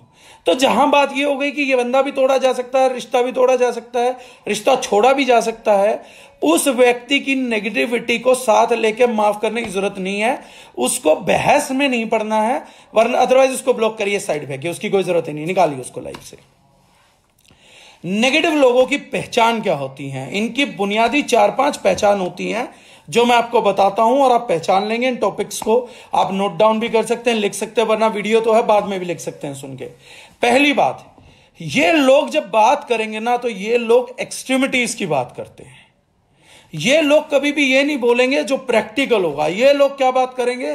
मान लीजिए कि कोई आदमी नब्बे झूठ बोलता, सच बोलता है, और उसने एक झूठ बोल दिया, और नियत से ही बोल दिया, नियत साफ़ थी कि चल यार किसी का भला हो जाएगा, और इस आदमी ने एक झूठ बोल भी दिया उसमें कि एक मैनुपुलेटेड सच बोल दिया, अर्थ सत्य बोल दिया तो ये लोग क्या कहेंगे? मेरी नज़र में तो भाई झूठा ही है, एक झूठ सो सो झूठ झूठ तो झूठ है, झूठा ही बोलूँगा भाई मैं तो मैंने तो झूठा मान लिया इसको। ये जो है ना, ये ओवर एक्टर है, अंदर से तो ये बहुत झूठा है। अंदर से तो इसके अंदर अंधेरा बहुत है। दूसरों के नब्बे सच को इग्नोर करके एक झूठ को पकड़ के बैठ गया, असलियत में तो ये आदमी बहुत ज़्यादा नेगेटिव है। नब्बे सर्विसेज़ को भूल गया, एक सर्विस के फॉल्ट को आगे बढ़ा रहा है, इसका मतलब ये आदमी बहुत नेगेटिव है। ये एक्सट्रीमिटीज में बात करता है। यह आदर्श खोजता है बड़े बड़े ये वो लोग हैं जिनको मैं आगे ये एग्ज़ाम्पल आज दूँगा तो इन लोगों का ज़िक्र करूँगा कि इनको कुछ भी बता दीजिए, ये हर सत्य को नकार देंगे। ये एक्सेप्शंस को चेक नहीं करेंगे, ये नहीं चेक करेंगे, सौ में से कितनी बार सही, कितनी बार गलत। एक गलती हो जाए, उसको बोलेंगे, गलत तो भाई गलत है, गलत तो गलत रहेगा। एक गलती सो सौ गलती। ये लगातार उस टॉपिक को एक्सट्रीमिटीज में बात करेंगे। नेगेटिविटी की बात करेंगे। इनको बोल दो कि, यार बिज़नेस में ना मेरे दो लाख दो लाख डूब गए कैसे निकलेगा? मैंने तो ना भाई पैसे के नुकसान में ना लोगों को जान से बजाते देखा। मैंने तो लोगों को मरते देखा है। मैं तो ऐसे लोग देखे जिनसे दस हज़ार का कर्जा नहीं उतरा। वो भाई, ज़िंदगी मरी गई, तेरे तो दो लाख चले गए। भाई, तू कैसे करेगा यार? मैं ना तेरे लिए बड़ा दुखी हो रहा हूँ। एक्चुअली में कोई आपके लिए दुखी नहीं है। अंदर से बड़े मज़े में है। अंदर से इसको खूब मज़ा आ रहा है कि आपके दो लाख डूब गए। अंदर से तो इसकी दुआ है, साले के दो के डूबे बीस लाख डूबते हैं यहाँ पर। लेकिन बाहर से ढोंग रच रहा है एक्सट्रीमिटीज का ढोंग रच रहा है।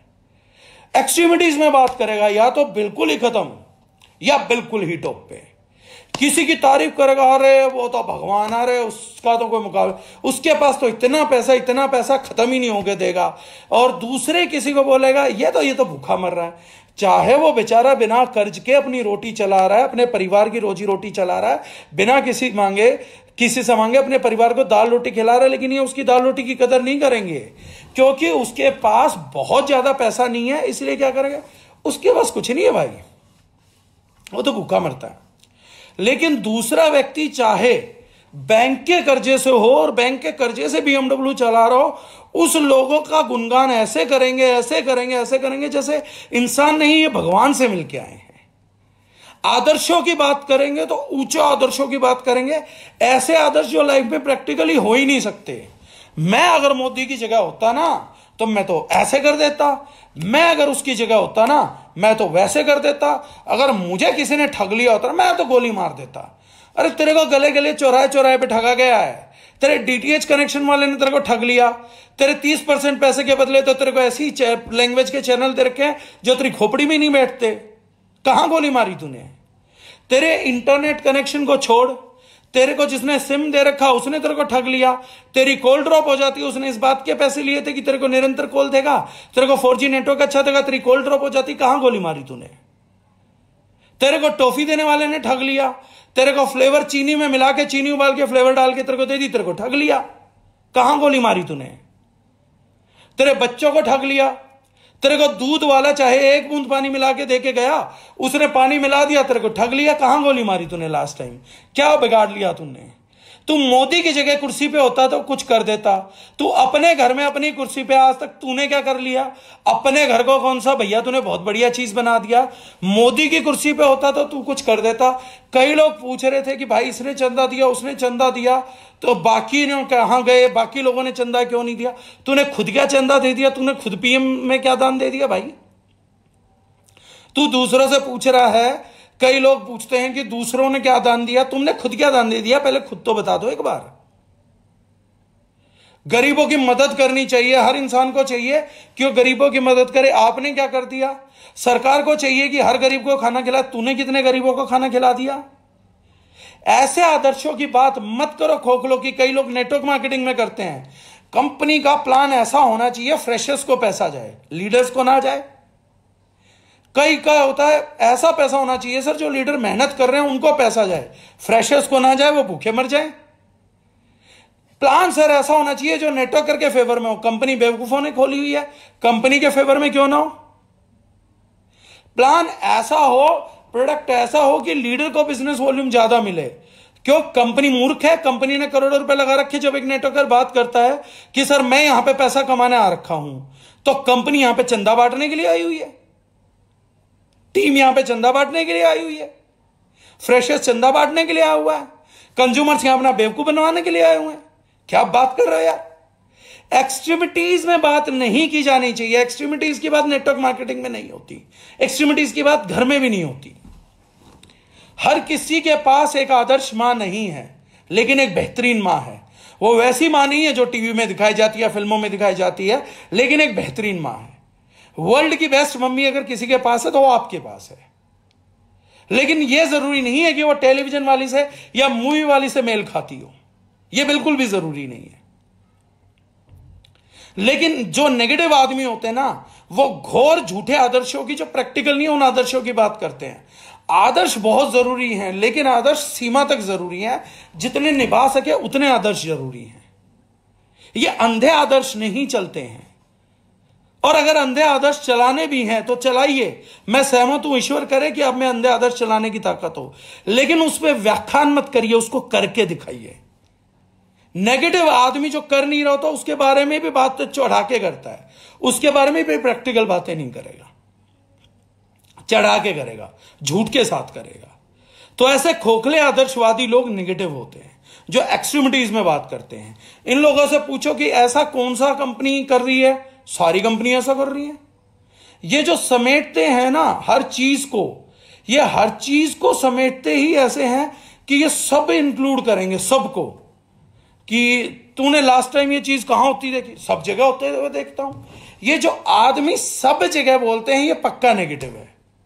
कि लास्ट टाइम कहाँ देखी? तूने कौन से थिएटर में सौ रुपए की टिकट देखी या पचास रुपए की टिकट देखी? सारे थिएटर में पचास रुपए की टिकट है। महँगी टिकट होती कहाँ इनसे पूछो कि उसमें, अरे वो तो लूट मचा रखी है। अच्छा उसमें नहीं डायरेक्टर्स अरे डायरेक्टर्स कट में भी लूट मचा रखी है। चल डायरेक्टर्स कट में नहीं है पीवीआर अरे पीवीआर तो है लुटेरों की जगह। एक बार इसने सब बोल दिया, उसके बाद इसको कुछ बोल दो तो सब लुटेरों की जगह है। उसको तो छोड़ दो, हर एग्ज़ाम्पल को एक्सेप्शन बोलेगा। ये नेगेटिव आदमी की पहचान है। सब जगह यही होता है, सब यही करते हैं, या कोई नहीं करता, कहीं नहीं होता। हर जगह सब जगह या कहीं नहीं। इसकी ज़िंदगी में, संसार में कोई रेफरेंस ऑब्जेक्ट है ही नहीं, कोई रेफरेंस है ही नहीं। या तो सब जगह है या कहीं नहीं है। या तो सब लोग करते हैं, कोई नहीं करता। या तो मेरे साथ हो रहा है या किसी के साथ भी नहीं हो रहा। ये व्यक्ति जो हैं, ये नेगेटिव लोग पहचान में आ जाते हैं। इनके शब्दों से इनकी नेगेटिविटी ना बाहर छलक छलक के बढ़ रही होती है। सब जगह, हर जगह, कहीं नहीं, किसी भी जगह नहीं, हर किसी के साथ, किसी के साथ नहीं, सब लोग कोई नहीं। ये सब नेगेटिविटी के इनके पास एक्चुअली में एक्चुअल रीडिंग या एक्चुअल एग्ज़ाम्पल स्पेसिफिक एग्ज़ाम्पल नहीं है। इसलिए ये चीज़ों को जनरलाइज करना पसंद करते हैं। ये सबको घेरना पसंद करते हैं। जाति को घेरेंगे सबको, धर्म को घेरेंगे सबको, मनुष्यों को घेरेंगे सबको। ये एक सर्कल मार के क्योंकि अलग अलग चीज़ों को सेग्रीगेट करके बता सके, इतनी बुद्धि नहीं है, इसलिए अपने साथ सभी को लपेट लेते हैं। तो ये एक पहचान है नेगेटिव लोगों की। इस पहचान को, उनके शब्दों को ध्यान से सुने आइडेंटिफाई करें। अगर व्यक्ति ऐसी बात कर रहा है, झूठा आदर्श की बात कर रहा है इम्प्रैक्टिकल आदर्श की बात कर रहा है तो उसके अंदर नेगेटिविटी बसती है। तो नेगेटिव लोगों से थोड़ा संभल के दूसरी बात, ये हर चीज़ के सेंटर में खुद को रखेंगे और हर बात का मतलब निकालेंगे। आप इनके पास गए, बोले, मेरे को यार तेरी ये बात अच्छी नहीं लगी। तो आपने बोला कि मुझे तेरी बात अच्छी नहीं लगी, ये सामने से क्या बोलेंगे? इसका मतलब तेरे को मेरी बातें बुरी लगती हैं। अरे भाई, कितना नेगेटिव आदमी तू? मैंने तेरे मुँह पे बोला तेरे ये बात अच्छी नहीं लगी। तू आगे से बात कर रहा है कि ये बात मुझे बुरी लगती है? मैंने तेरे को कभी कुछ बोला ही नहीं। मैंने कुछ कहा ही नहीं। मैंने बोल दिया कि यार तेरी ये वाली की शर्ट अच्छी नहीं लग रही। इतनी बुरी शर्ट तो नहीं पहन रखी मैंने। अरे भाई, मैंने क्या बोला तेरी शर्ट बुरी है।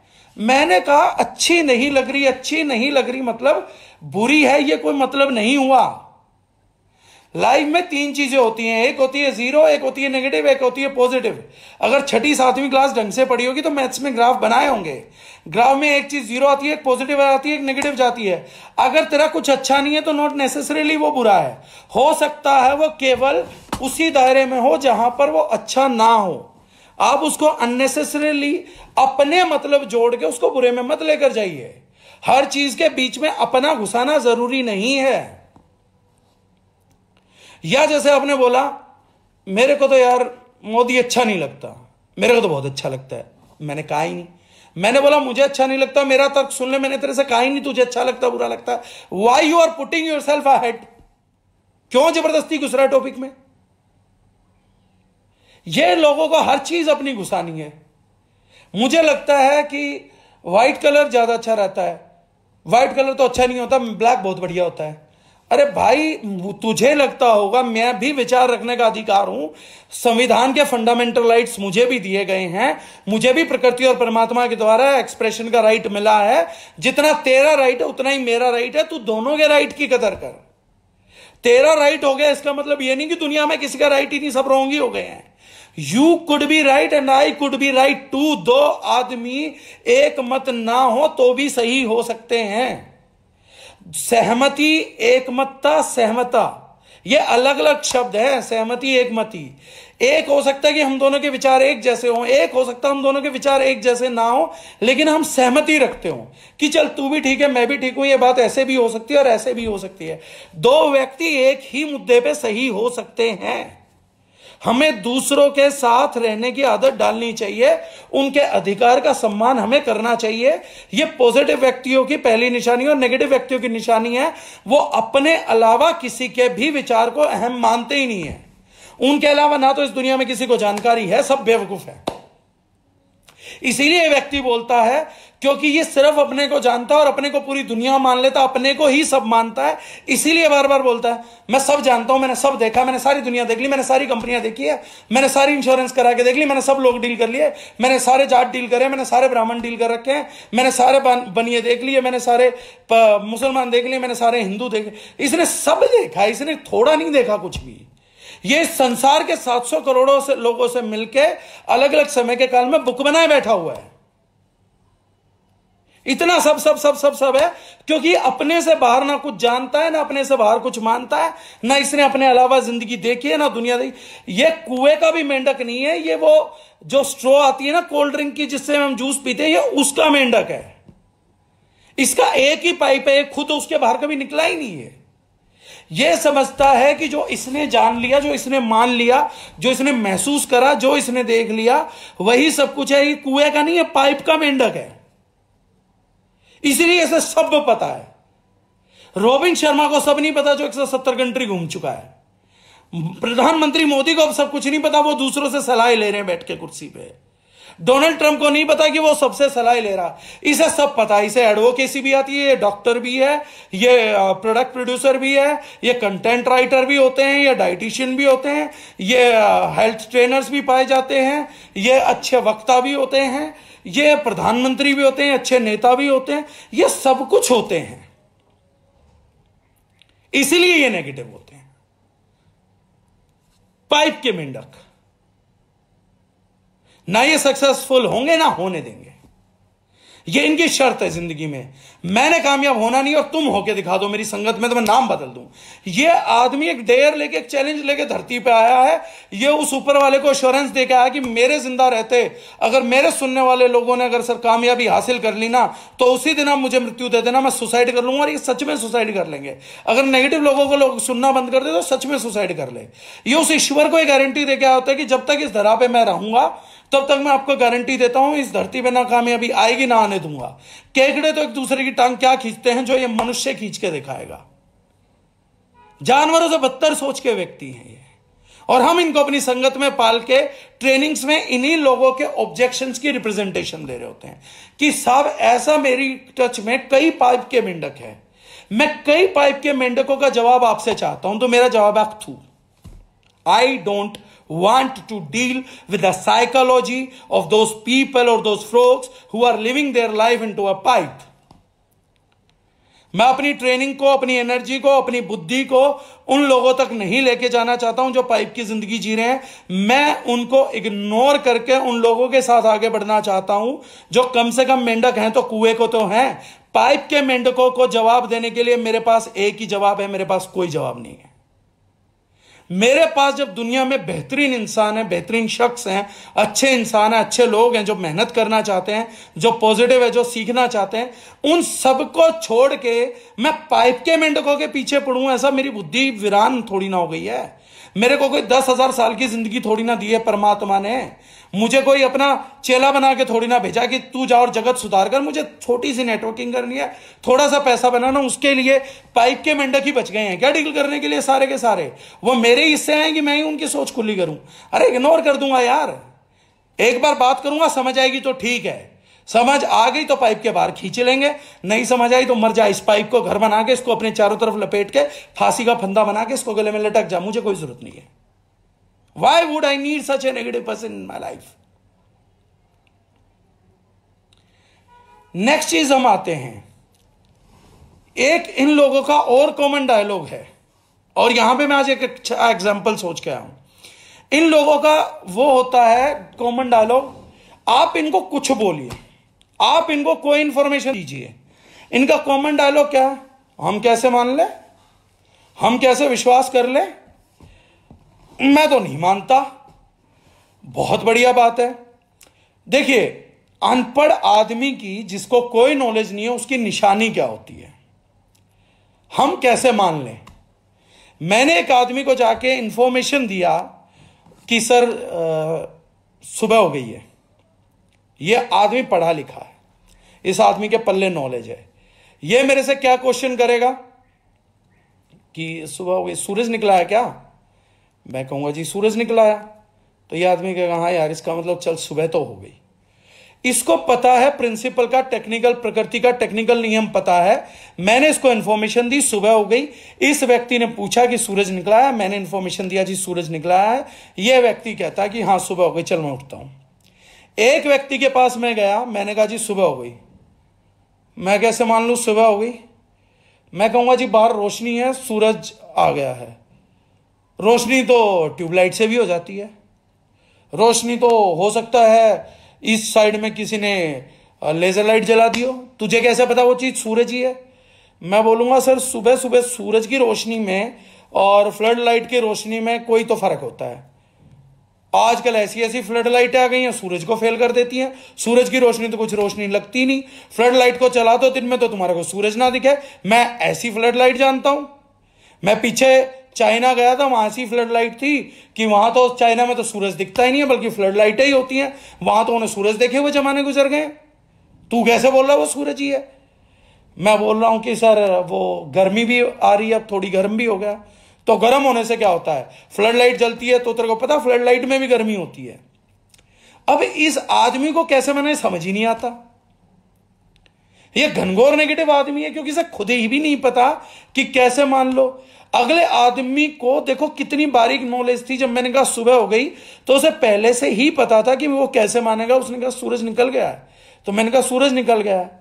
वो बस उतने में मान गया क्योंकि उसे पता है सूरज निकल जाना, सुबह की निशानी है। उसे इंफॉर्मेशन थी, उसे नॉलेज थी। इसको धेले की नॉलेज थी नहीं। एक्चुअली ये जब बोलते हैं आदमी, मैं कैसे मान लू तो बता रहा था, मेरे को देख अकल वकल तो है नहीं। अगर तू इसके आगे टेक्निकल बोलेगा तो मैं ये मान लूँगा, तुझे भी नहीं है। और अगर तूने यहीं से मुझे दो बातें सुना दी तो मैं ये मान लूँगा, मेरे को तो नहीं है, पर तेरे को अकल बहुत है कि मेरे जैसों के साथ डील कैसे किया जाता है। तो कम से कम मैं तेरे को यह नहीं बोलता कि तेरे को टेक्निकल अकल है, लेकिन मेरे जैसों से डील करने की अकल है तेरे अंदर। तो ये जो लोग होते हैं, ये नेगेटिविटी इसी तरीके से फैलाते हैं। आज मैं एक एग्ज़ाम्पल कर रहा था कि इसका सॉल्यूशन भी बताऊँगा। जब सीता मैया को श्री राम ने छुड़वा लिया और वो आए तो श्री राम ने कहा कि आपको पवित्रता की परीक्षा देनी पड़ेगी ताकि लोगों को यकीन हो जाए। तो सीता जी ने ये नहीं कहा। ये लोग क्या कहते हैं? तो राम जी ने कहा जी आपको परीक्षा देनी पड़ेगी हम कैसे मान ले कि आप पवित्र हैं? तो ये प्रजाति पता कैसी है? सीता मैया ने सा, सामने से कहा कि आप बताइए क्या परीक्षा चाहिए? तो उन्होंने कहा, जी, हम थर्ड पार्टी ऑडिट कराएँगे। थर्ड पार्टी ऑडिट करेंगे अग्निदेव जी। आप अग्नि परीक्षा दीजिए। अगर अग्नि में से आप शरीर वापसी आ जाती है और भसम नहीं होते तो हम आपकी पवित्रता का यकीन कर लेंगे। लेकिन अगर वहीं पे सीता मैया ने पूछ लिया होता, जवाब दे दिया होता, उन्होंने बोल दिया कि, बताइए प्रभु, क्या परीक्षा देनी है? जो परीक्षा बोलेंगे, मैं दे दूँगी। अगर वहीं पे सीता ने यह बोल दिया होता इन लोगों के सामने कि उन्होंने बोला होता कि आप परीक्षा दीजिए कि आप पवित्र हैं और सीता मैया कहती कि मैं अग्नि परीक्षा दे सकती हूँ। तो ये लोग पता क्या बोलते तू तो अग्नि परीक्षा तो दे ही देगी, तेरे को पता अग्नि में तेरा कुछ नहीं होना। तो हम नहीं मानते। अग्नि परीक्षा तो कुछ होती नहीं, हम तो मानते ही नहीं। अग्नि परीक्षा को छोड़, कुछ और बात कर। फिर सीता जी कहती कि चलो मैं जल परीक्षा दे देती हूँ। जल से क्या होता? जल में तो कुछ होता ही नहीं होता। जल में तो ला, मैं भी डूब जाऊँ। जल में कौन सी परीक्षा होती? जल तो कोई परीक्षा होती नहीं, मैं तो मानता नहीं। इस आदमी को कोई परीक्षा दे लीजिए, इसे नहीं माननी। खुद आग नहीं, ये मोमबत्ती के ऊपर हाथ नहीं रख सकता। लेकिन दूसरा आदमी अग्नि परीक्षा में से गुजर जाए फिर भी वो है, हम नहीं मानता, अग्नि में तो कुछ नहीं होता। वो तो सीता मैया ने सामने से पूछ लिया कि आप बताइए, प्रभु, आप कैसे मानोगे? मैं वो ऑडिट दे देती हूँ, वो परीक्षा दे देती हूँ, जिस ऑडिट से आपकी तसली हो। श्री राम जी ने कहा भैया हमें अग्नि से ऑडिट से वो है मान्यता है मान लेते हैं। जब प्रभु ने कहा कि अग्नि परीक्षा ले लीजिए तो वहाँ हनुमान जी जैसे, बाकी वानर जैसे, जामवन जैसे पॉजिटिव आदमी खड़े थे। उन्होंने कहा कि प्रभु, मानने की ज़रूरत ही नहीं है, परीक्षा की ज़रूरत ही नहीं है। आप व्यक्ति का किरदार देखिए कैरेक्टर देखिए, आप इतने पुराने समय से जानते हैं। आपको लगता है कि सीता मैया की परीक्षा की ज़रूरत है आपको? आपको तो किसी सेकंड चीज़ की ज़रूरत नहीं है, आपको टेक्निकल सारी इंफॉर्मेशन अवेलेबल है। इतना बोल दिया, बहुत है, माँ खुद मुँह से बोल रही है, बहुत है। आप क्यों अग्नि परीक्षा के लिए जान रहे हैं? लेकिन चलो जी, अग्नि परीक्षा हुई। लेकिन सवाल इतिहास में जाके, धर्म ग्रंथ में जाके एक चीज़ ढूंढिएगा। सीता मैया अग्नि परीक्षा दे आए, वो अग्नि से बाहर निकल के आ गए। लेकिन उसके बाद भी प्रभु श्री राम के राज्य में एक व्यक्ति होता था, शायद कुमार था। उस कुमार को तब भी तसल्ली नहीं उसके बाद भी कह रहा है, पवित्र, मैं तो नहीं मानता अग्नि परीक्षा के बाद कि सीता पवित्र है। अरे भाई, तेरे को कोई नहीं मना सकता। श्री राम उस युग में उस कुमार को नहीं मनवा पाए थे कि पवित्र है वो। हम यहाँ इंडस्ट्री में एमएलएम में लोगों को मनाने चले जाते हैं। अपने ट्रेनर से पूछ रहे होते जी, इसे कैसे मना अरे, मैं तुम्हारी अगर नहीं परीक्षा करवा दू, उसने तब नहीं मानना। तुम कैसे बेवकूफों वाले सवाल पूछ रहे हो? हाँ अभी ना बोल रहा हूँ, धोबी था सॉरी धोबी था। तो वो अग्नि परीक्षा के बाद नहीं माना। एमएलएम में तुम अपनी अग्नि परीक्षा दे दो, इन्होंने तब भी नहीं मानना। आज भी हनुमान जी के जामवंत के वंशज हैं, जो लोग ये बोलते हैं, आदमी का चरित्र देख लिया, किरदार देख लिया, नीयत जान ली, और क्या जानने को है? बाकी जो ये आदमी बोल रहा होगा, ठीक ही बोल रहा होगा। लेकिन कुछ धोबी हैं। वो आज भी धोबियों के वंशज आज भी बचे वो उस धोबी के वंशज। जाति की बात नहीं कर रहा हूँ, उस मानसिकता के वंशज आज भी हैं। कि आप अग्नि परीक्षा दे दो, फिर भी वो कहेंगे, मैं तो नहीं मानता। आप ऑर्गेनिक बोल दो यूएसडी ऑर्गेनिक बोल दो, उसके बाद भी कहेंगे, ऑर्गेनिक के सर्टिफिकेट तो जगह जगह फिर मिलते हैं। इनको बोल दो कि, तू लेके बेच ले तू लिख दे पाँच परसेंट कुरकुमिन अपनी हल्दी पे। तो अपने आप नहीं लिख सकते। अपने आप सर्टिफिकेट नहीं ले सकते।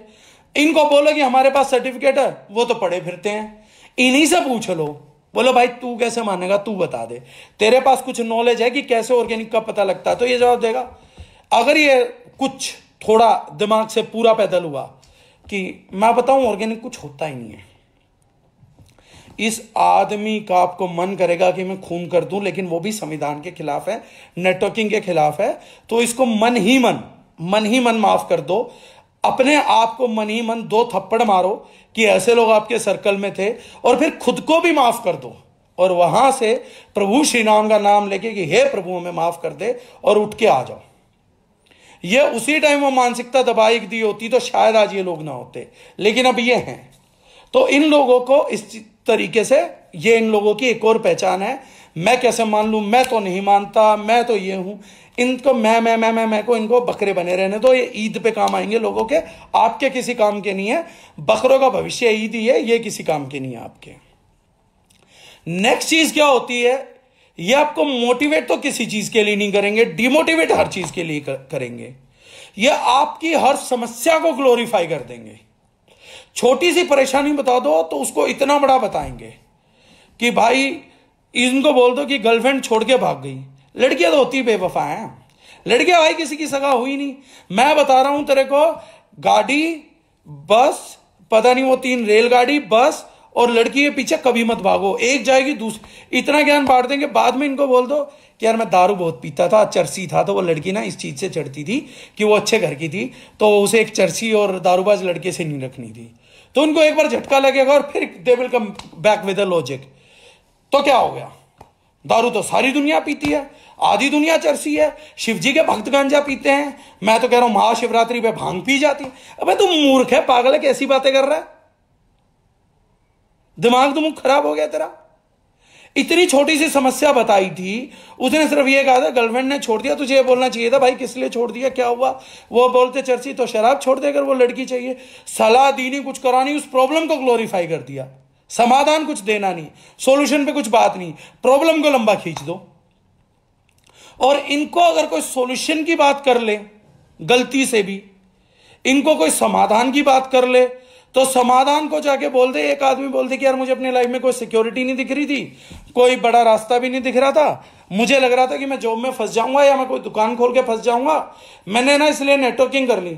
अबे ये क्या कर लिया? ये नहीं कर अबे भाई, कहाँ फंस गया तू? ऐसी जगह फंस गया। मैंने बहुत से लोगों को फंसते देखा है। भाई, तू ये नहीं करना था, यहाँ तो सब लोग बर्बाद होते हैं। मैंने आज तक किसी को कामयाब नहीं देखा। भाई, तूने आज तक इस फ़ील्ड में किसी को नहीं, तूने कहीं पर भी कोई कामयाब नहीं देखा है। तेरी सोच कामयाब लोगों तक पहुँच ही नहीं पाती है। कामयाब लोग तेरे को संगत में ही नहीं बैठाते हैं। तू कामयाब देखेगा ही कहाँ से? तेरी जैसी सोच इतनी बदबू मारती है कि कामयाब आदमी तेरे ऊपर डिओड्रेंट छोड़ के और वहाँ से खुद उठ के चला जाता है। तू कहाँ से कामयाब आदमी देखेगा? तूने कामयाबी और कामयाब आदमी दोनों कभी नहीं देखने ज़िंदगी में। इस फ़ील्ड में नहीं, तूने किसी फ़ील्ड में नहीं देखने। क्योंकि तेरा चरित्र ही ऐसा है, तेरे में से बदबू इतनी भयंकर आती है कि तेरे साथ बैठने के लिए एक आदमी को, एक कामयाब आदमी को, क्योंकि नेगेटिव आदमी से दूसरे नेगेटिव आदमी में संक्रमण नहीं फैलता। समझिएगा। एक कोरोना पेशेंट से दूसरे कोरोना पेशेंट में नहीं जाता कोरोना। कोरोना को एक पेशेंट चाहिए और एक हेल्दी व्यक्ति चाहिए। अनहेल्दी कोरोना संक्रमित व्यक्ति से हेल्दी व्यक्ति में कोरोना संक्रमण होता है। नेगेटिव से नेगेटिव में नहीं होता कोरोना संक्रमित तो कोरोना संक्रमित कोरोना वायरस नहीं होता है। तो नेगेटिव से पॉजिटिव के इफ़ेक्ट होने की संभावना नेगेटिव में से नेगेटिव को बदबू आती ही नहीं है। बदबू आएगी पॉजिटिव की और इतनी बदबू आएगी कि छह शीशी लग जाएँगी। तो कामयाब आदमियों को नेगेटिव आदमियों से बदबू आती है, इसलिए उनके सर्कल में कभी भी कामयाब आदमी नहीं मिलता और ये आदमी एक रोनर होते हैं। पहले तो हमारे साथ उठता बैठता था, जब कामयाब हो गया तो हमें छोड़ दिया। अबे तुम ऐसे क्या थे? खुद सोचो कि एक व्यक्ति ने कामयाब होते ही पहले कुछ छोड़ा नहीं छोड़ा, तुम्हारे को छोड़ा। ऐसा उसे कामयाबी मिलते ही क्या दिख गया कि सब चीज़ों को बाद में छोड़ा, तुम्हें पहले छोड़ा? ऐसी कौन सी खूबी नज़र आ गई थी उसे तुम्हारे में? तुम क्यों अपने आप को इस लायक नहीं बना पाए कि तुम कामयाब आदमी के किसी काम के होते? कामयाब आदमी को कामयाब होते यह कैसे पता लगा कि अगर मुझे अपनी कामयाबी बचा के रखनी है तो सबसे पहले इन गधों को लात मारू? इन लोगों ने कहीं पर भी कामयाब आदमी नहीं देखे। ये हर जगह बुराइयों के एग्ज़ाम्पल इकट्ठा करके, एक एनसाइक्लोपीडिया बना के, उसकी किताब लग के दूसरों को डिमोटिवेट करते फिरते हैं। इनसे बोल दो कि मैंने प्रॉपर्टी डीलिंग का काम चालू कर लिया। प्रॉपर्टी कहाँ कर ली? छह साल से तो मोदी सरकार है अभी दस साल और रहेगी कुछ नहीं मिलना प्रॉपर्टी डूबी पड़ी है। इनको बोलो भाई प्रॉपर्टी डूब रही थी कुछ काम धंधा था नहीं मैंने नेट, नेटवर्किंग कहाँ कर ली? नेटवर्किंग में एक दो परसेंट लोग कामयाब होते हैं अट्ठानवे परसेंट नहीं होते और तेरी संगत में मैं हूँ भाई ये गारंटी है तू अट्ठानवे में है तू एक दो में होता तो मैं तेरी संगत में क्या करता है यार तू मेरी संगत में तू समझा तो करे। तू अट्ठानवे में है जो नेटवर्क मार्केटिंग में नहीं मैं खुद बोल रहा हूँ एक दो परसेंट लोग ही कामयाब होते हैं सब नहीं होते इसमें। तू ऐसा कुछ काम कर जिसमें सब कामयाब होते हैं और वो काम मैं तुझे बता रहा हूँ, कोई है ही नहीं। क्योंकि ऐसा कोई काम बना ही नहीं जिसमें सब कामयाब होते हो। लेकिन देख, मैं इंतज़ार कर रहा हूँ ऐसे किसी काम का जिसमें सब कामयाब होते हो। तो तू इसको भी छोड़ दे और उसको भी छोड़ दे और सब कामों को छोड़ दे। तू ऐसे किसी काम के इंतज़ार में मेरे साथ बैठ, जहाँ सब कामयाब होते हो, फिर हम उसमें जाके काम करेंगे यार। क्योंकि मेरी सोच ही ये है कि मैं उस काम में कामयाब नहीं हो सकता, जिसमें एक दो पाँच परसेंट कामयाब होते हो। मैं मानता हूँ दुनिया की सच्चाई है, अंदर से तो मैं भी जानता हूँ कि सिर्फ़ काम करने वाले लोग ही कामयाब होंगे। मैं ये भी जानता हूँ कि हर इंडस्ट्री में दो पाँच परसेंट ही कामयाब होंगे। लेकिन क्योंकि मैं अपने को भी तो जानता हूँ, मैं तो कभी नहीं हो सकता उसे एक दो पाँच मैं कुछ करूँगा ही नहीं एक दो पाँच परसेंट में जाने के लिए यार। तो इसलिए मुझे एक ऐसे प्लेटफॉर्म का इंतज़ार है जहाँ सब कामयाब होते हो। जहाँ सब कामयाब होते हो, वहाँ भी मेरा एक परसेंट चांस है कि मैं कामयाब हो जाऊँ। पगले जहाँ पे दो पाँच परसेंट हो रहे हैं, वहाँ मेरे जैसे तो होंगे नहीं। और तू मेरी संगत में है तो तू मेरे पे अंधा विश्वास रख, मेरे पे कॉन्फिडेंट रह कि मेरी संगत का आदमी तो मरते हुए पानी नहीं पी सकता। पागल आदमी कामयाब कहाँ से होगा? तो तू छोड़ दे ये सब। तू मेरी सुन और तू भी घर पे बैठ जा। ये काम वाम नहीं है तेरे लिए। तू मेरे पास कोई भी काम ला, मेरे पास इतना टैलेंट है, मैं हर काम की बुराई कर सकता हूँ। लेकिन तू मुझसे एक बार पूछ कि ये काम भी मेरे लिए नहीं है, काम भी मेरे लिए तेरे के लिए कौन सा काम है? तो मैं कहूँगा, यार, वो मेरे को नहीं पता तेरे लिए कौन सा काम है, तू नौकरी कर ले जा जाके. But these kind of people are affecting our life badly and we are letting them affect our life badly और कभी नेगेटिव आदमी से बात कर लेना जो मैंने एपिसोड दोहराया, इसके अलावा आप कुछ सुन नहीं पाओगे उनके मुँह से। They are negative towards each and everything in this world everything और हम इन लोगों को अपनी संगत बना के बैठे हुए हैं। हम इन लोगों की दुर्संगति पाल के बैठे हुए हैं तो हम कामयाब कहाँ से होंगे? हम कभी कामयाब नहीं हो सकते हैं। दूसरी बात these people are dependent on others ये अपने काम में किसी ना किसी के लिए डिपेंडेंट रहेंगे। नेटवर्क मार्केटिंग में टीम पे डिपेंडेंट रहेंगे, या प्रोडक्ट पे डिपेंडेंट रहेंगे, या कंपनी के प्लान पे डिपेंडेंट रहेंगे, या कंपनी के प्रोफ़ाइल पे डिपेंडेंट रहेंगे, या अपलाइन पे डिपेंडेंट रहेंगे। ये कभी भी खुद कलम पकड़ के, खुद पेन पकड़ के कभी अपलाइन को नहीं बोलेंगे कि यार तूने मेरी ज़िंदगी का ठेका थोड़ी ना ले रखा है। कल को तू मर गया, मैं किसके सारे नेटवर्किंग करूँगा? तू भी तो प्लान ही बताता, तेरा भी तो मुँह है, तेरे भी तो विचार है, तेरे भी तो हाथ है। तुम मुझे प्लान दिखाना सिखा देना, मैं खुद अपनी स्पीड से काम कर लूँगा। ये तो बार बार आके आके मेरी जो मीटिंग लेता है, ये कब तक लेगा भाई? और कब तक चलाएगा? मैं खुद अपना काम कर लूँगा। नहीं पर ये डिपेंडेंट रहेंगे किसी ना किसी पे। इन्हें किसी ना किसी का खून पीना ही है। इन्होंने कहीं ना कहीं किसी ना किसी एंगल से अपनी असमर्थता ज़ाहिर करनी है कि मेरे से ये नहीं होगा, मैं ये अच्छा नहीं कर पाता, मैं ये बढ़िया नहीं कर पाता हूँ, ये तू कर दे। टीम बनानी पड़ती है कि कोई हमसे ये वाला काम हमसे बेहतर कर सकता है। लेकिन जो काम सबको करना ही है, उस काम को भी हम खुद करने को तैयार नहीं है। एक पॉजिटिव आदमी इंडिपेंडेंट होता है, एक नेगेटिव आदमी डिपेंडेंट होता है। नेगेटिव आदमी की पहली निशानी है, वो डिपेंडेंसी रखेगा। हम अपनी डिपेंडेंसी को, प्राकृतिक डिपेंडेंसी को खत्म नहीं कर सकते हैं। लेकिन जो खत्म कर सकते हैं, उसको खत्म कर देना चाहिए। लेकिन नेगेटिव आदमी उसको भी खत्म नहीं करेगा, उसको भी पाल के रखेगा कि जब मुझे एक चीज़ के लिए डिपेंडेंट रहना ही है तो मैं क्यों ना सो के लिए रहूँ? वो एक भी चीज़ से इंडिपेंडेंट होना पसंद नहीं करेगा, वो किसी न किसी पे डिपेंडेंट रहना पसंद करेगा। वो चीज़ों को सीखना पसंद नहीं करेगा सेलेक्शन देगा। हम बोलते हैं, अंग्रेज़ी कहावत है beggars are not choosers but these are sort of beggars who are always big choosers मतलब ये वो आदमी है कि अगर मैं इनको बोलूँ कि भूख लग रही है भाई, कुछ खाएगा? तो पैसे मैंने फूकने साथ मेरे हैं तो ये बोलेगा, यार, आज डोमिनोज का पिज्जा खाने का मन हो रहा है। अबे, जब पैसा मैंने फूकना है तो मेरी चॉइस पूछ, मैं तेरे को कहाँ खिला रहा हूँ। मेरे पैसे से खाना और चॉइस अपनी दे रहा है कि डोमिनोज पिज्जा खाना है। ये नेगेटिव आदमी की पहली पहचान आ जाती है। तो these people are dependent on other people so throw them away from your life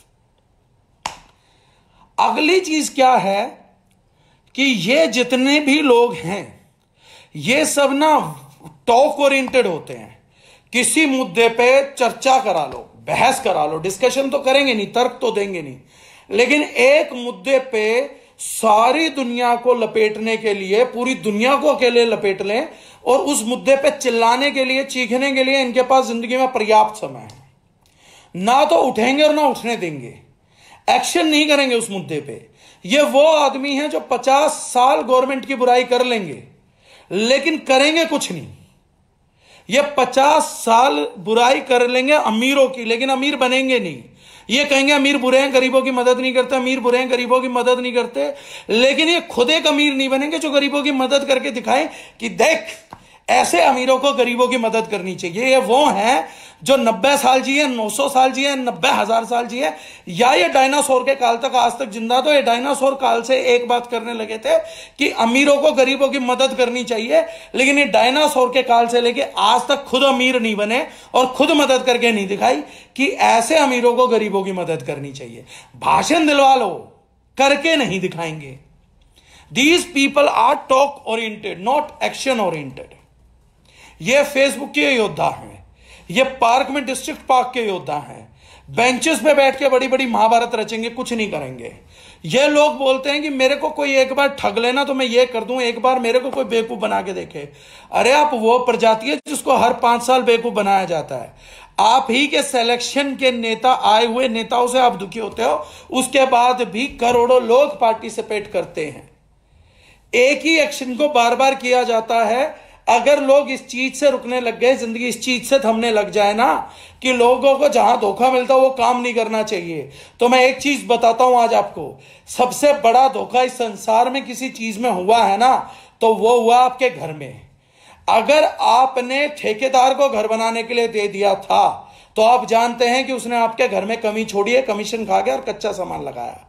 और अगर आपने खुद घर सामने खड़े होकर बनाया था तो आप तब भी जानते हैं कि आपका घर उतना बढ़िया नहीं बना, क्योंकि अगर मजदूर ढंग से होते, आप दिहाड़ी पे भी दुखी रहते हैं और आप ठेके पे भी दुखी रहते हैं। हर घर के मकान बनाने में ही हमारे साथ फ्रॉड हुआ है, दोस्तों। तो हर घर अगर ठगा गया तो इसका मतलब हमें घर नहीं बनाने चाहिए। अगर नोएडा में इतने फ्लैट्स में धोखाधड़ी हो गई, इसका मतलब अब हमें कभी फ्लैट ही नहीं खरीदना है। एक रास्ते से नहीं बदला जाता उसी रास्ते पे चल के कामयाब हुआ जाता है। लेकिन ये नेगेटिव लोग हैं ये बोलते हैं जब एक काम में तेरे साथ धोखा हो चुका तो दोबारा उस काम क्यों कर, क्यों कर रहा है? या बार बार उस काम में अगर तेरे को कामयाबी नहीं मिल पा रही तो क्यों कर रहा है? अरे बार बार तो आपको सरकार बनाने में भी कामयाबी नहीं मिल पा रही फिर क्यों बना रहे हो? बार बार आपको नौकरी में कामयाबी नहीं मिल रही फिर जनरेशन की जनरेशन क्यों झोंक रहे हो? बार बार तो आपको घर बनाने में भी कामयाबी नहीं मिल रही तो बार बार घर बनाने की क्यों सोचते हो?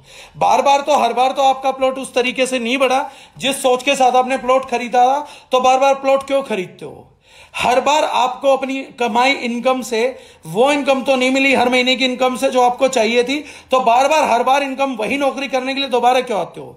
एक बार अकाउंटेंट बन के या एक बार लॉजिस्टिक्स में आके या एक बार टीचर बन के या एक बार बिजली के दफ्तर में लग के आपको वो हासिल तो नहीं हुआ जो आपको हासिल करना था। एक महीने काम किया, उस एक महीने में आउटपुट आई, आपको समझ आ गया कि मेरी ये औकात है, मेरी ये सैलरी है, इसमें वो मज़ा तो नहीं आया जिसको लेने के लिए मैं आया था। तो क्यों बार बार हर महीने वही नौकरी करने के लिए उसी जगह लौट के जाते हैं? क्योंकि करना है, जीवन का शाश्वत नियम है। जब तक कामयाब नहीं हो जाते, वही काम बार बार करना पड़ेगा तो बार बार करेंगे, ये जीवन का शाश्वत नियम है। लेकिन नेगेटिव आदमी हमारे को यहाँ से भटकाते हैं, जैसे वो खुद उसी आदर्श को फॉलो करते हैं, जिस आदर्श की बात कर रहे हैं। तो नेगेटिव आदमियों को जीवन से हटाना पड़ेगा, तभी ये जो एक मोटिवेशन आपने हासिल करी है, ये लंबे टाइम तक टिक पाएगी। अदरवाइज़ ये मोटिवेशन लंबे टाइम तक नहीं टिक पाएगी। कुछ इसमें और चीज़ें हैं, कुछ फिलोसफी और हैं कि अगर आप जानना चाहते हैं कि एक काम तो हो गया नेगेटिव लोगों को आइडेंटिफाई करना और उन्हें लिस्ट से हटा देना, उनकी ना सुनना। एक काम और है जो हम क्या खुद से कर सकते हैं कि हमारी मोटिवेशन डाउन ना जाए।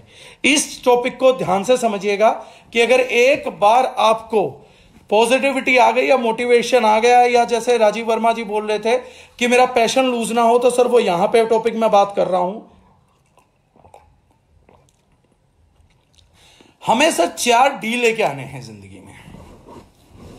हमें चार डी बहुत मदद मिलेंगे हमारी मोटिवेशन को लंबे टाइम मेंटेन करने के लिए, शायद पूरी ज़िंदगी मेंटेन करने के लिए। पहली चीज़, जिस काम को करने का निर्णय ले लिया बिजनेसमैन बनने का निर्णय ले लिया बिज़नेस में नेटवर्क मार्केटिंग को चुन लिया नेटवर्क मार्केटिंग में दार जुनाइन को आपने चुन लिया सेलेक्ट कर लिया, एक चीज़ का निर्णय हो गया। जिस चीज़ का आप निर्णय ले लेते हैं, जिस चीज़ को आपने एक बार मान लिया कि मैंने ये करना है, उस चीज़ को डिक्लेयर करिए। चार डी बताऊँगा आपको। इस चीज़ को डिक्लेयर करिए। डिक्लेरेशन कैसे हो सकती है? जैसे संभव हो सकती है, वैसे करिए।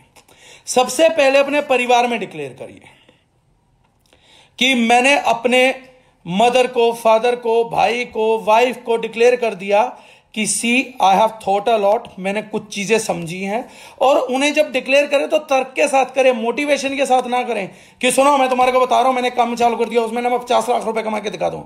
ये मूर्खता पूर्ण डिक्लेरेशन नहीं, बल्कि समझदारी वाली डिक्लेरेशन करिए कि मैंने ये सोचा और ये देखा और मेरे को ज़िंदगी में ये महसूस हुआ है।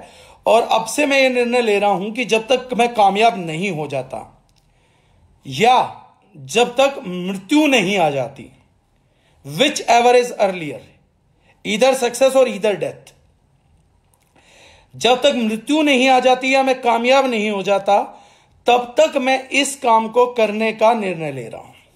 इधर पार्ट टाइम फुल टाइम या कैसे भी, मैं एक डिसीज़न ले रहा हूँ कि मैं ये चीज़ करने वाला हूँ।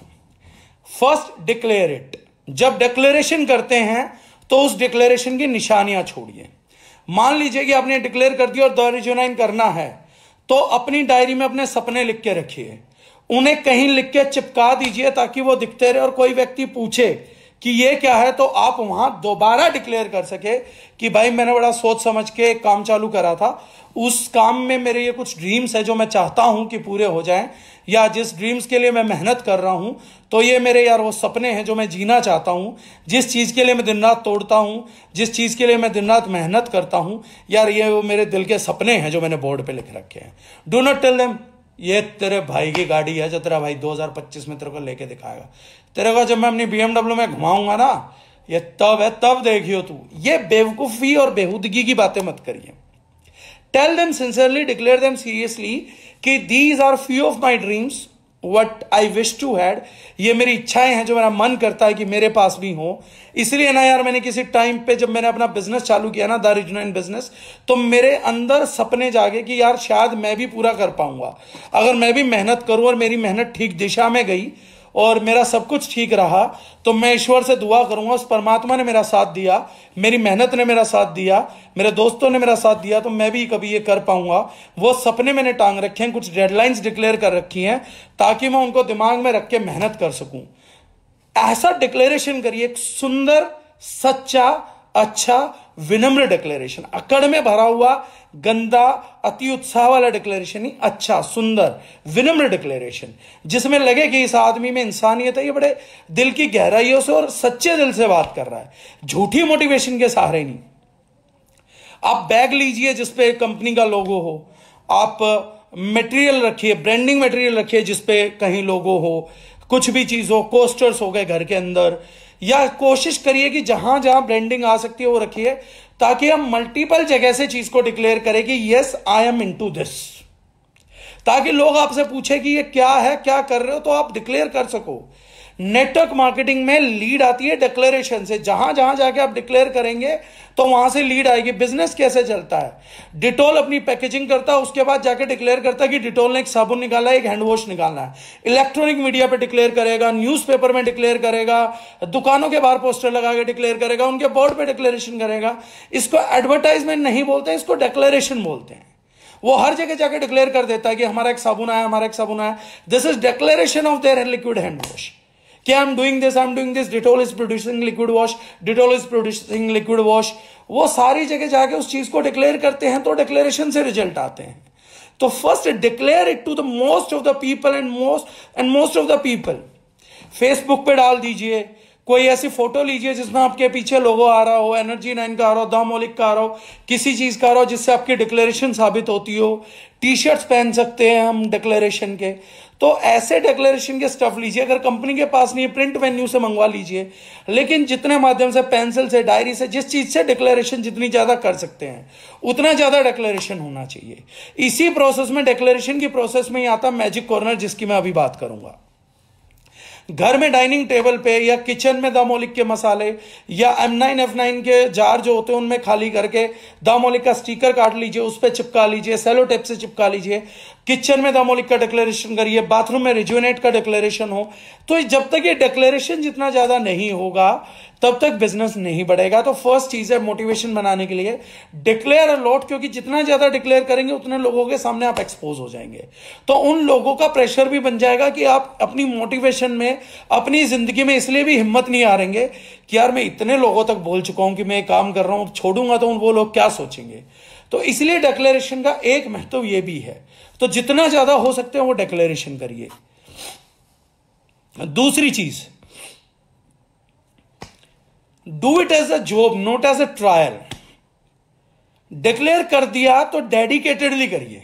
डेडिकेटेडली का क्या मतलब होता है कि मुझे यह काम करना है। इस काम को करने के लिए जो भी लगेगा मैं करूँगा। कामयाब होने के लिए I I will do what it takes कई लोग क्या बोलते हैं? कामयाब लोगों की और नॉन कामयाब लोगों की वोकेबलरी में एक अंतर है। कामयाब व्यक्ति क्या करते हैं? I will do this whatever it takes जो भी ये लेगा, मैं वो करूँगा, लेकिन मुझे ये करना है। नाकामयाब आदमी क्या करेगा? I will try to do this and I do my best मैं अपना बेस्ट करूँगा, चाहे ये काम हो या ना हो। लेकिन कामयाब आदमी क्या करेगा? मुझे कामयाब होना और मैं वो करूँगा जो कुछ भी इसको करने के लिए ज़रूरी होगा, मैं वो सब करूँगा, जो जो इसको करने के लिए ज़रूरी है। मुझे वो लिस्ट डाउन करके दे दीजिए, मैं वो सब काम करूँगा।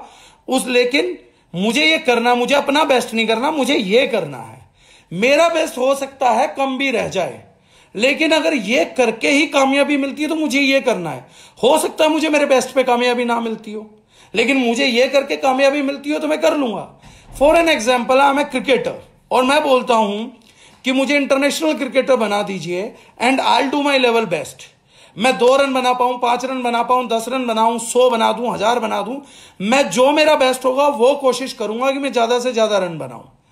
लेकिन एक आदमी क्या बात करेगा कि मेरे को मैच को जितवाने के लिए क्या करना है तो वो बोलेंगे, यार, अगर तू यहाँ जाके सेंचुरी मार दे तो तू हो सकता है तो बंदा बोल के जाता, चाहे मैं आराम से खेलूं चाहे मैं हिट करके खेलूं, मैं मैच की सिचुएशन के अकॉर्डिंगली खेलूँगा, लेकिन मैं सेंचुरी मार के आऊँगा।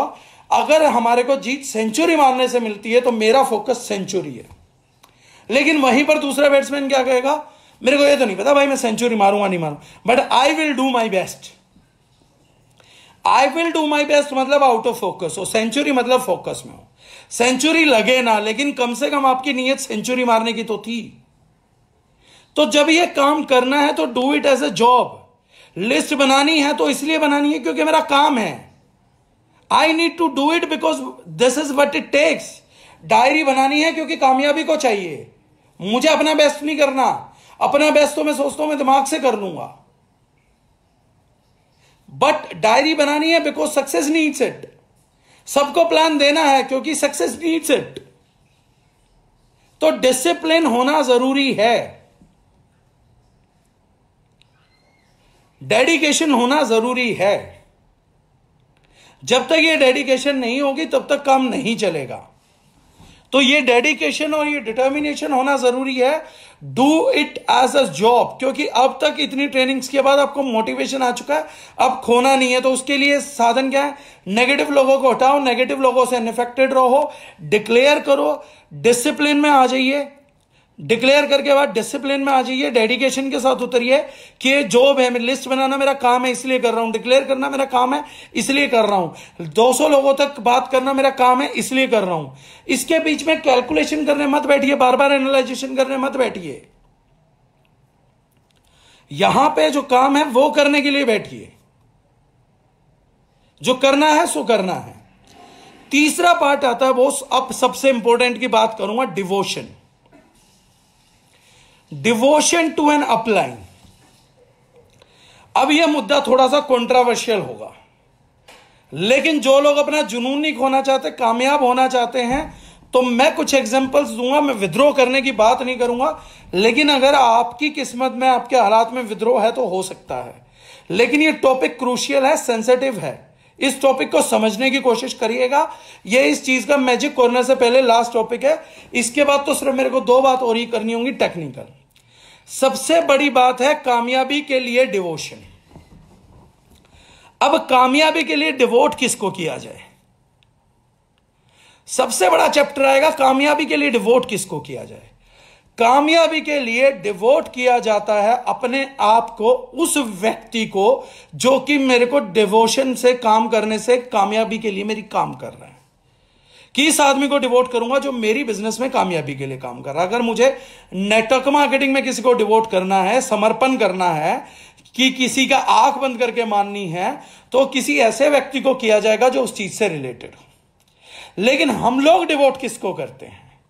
हम डिवोट उसको करते हैं जिससे हम दबते हैं निजी ज़िंदगी में। छोटा सा एग्ज़ाम्पल देता हूँ।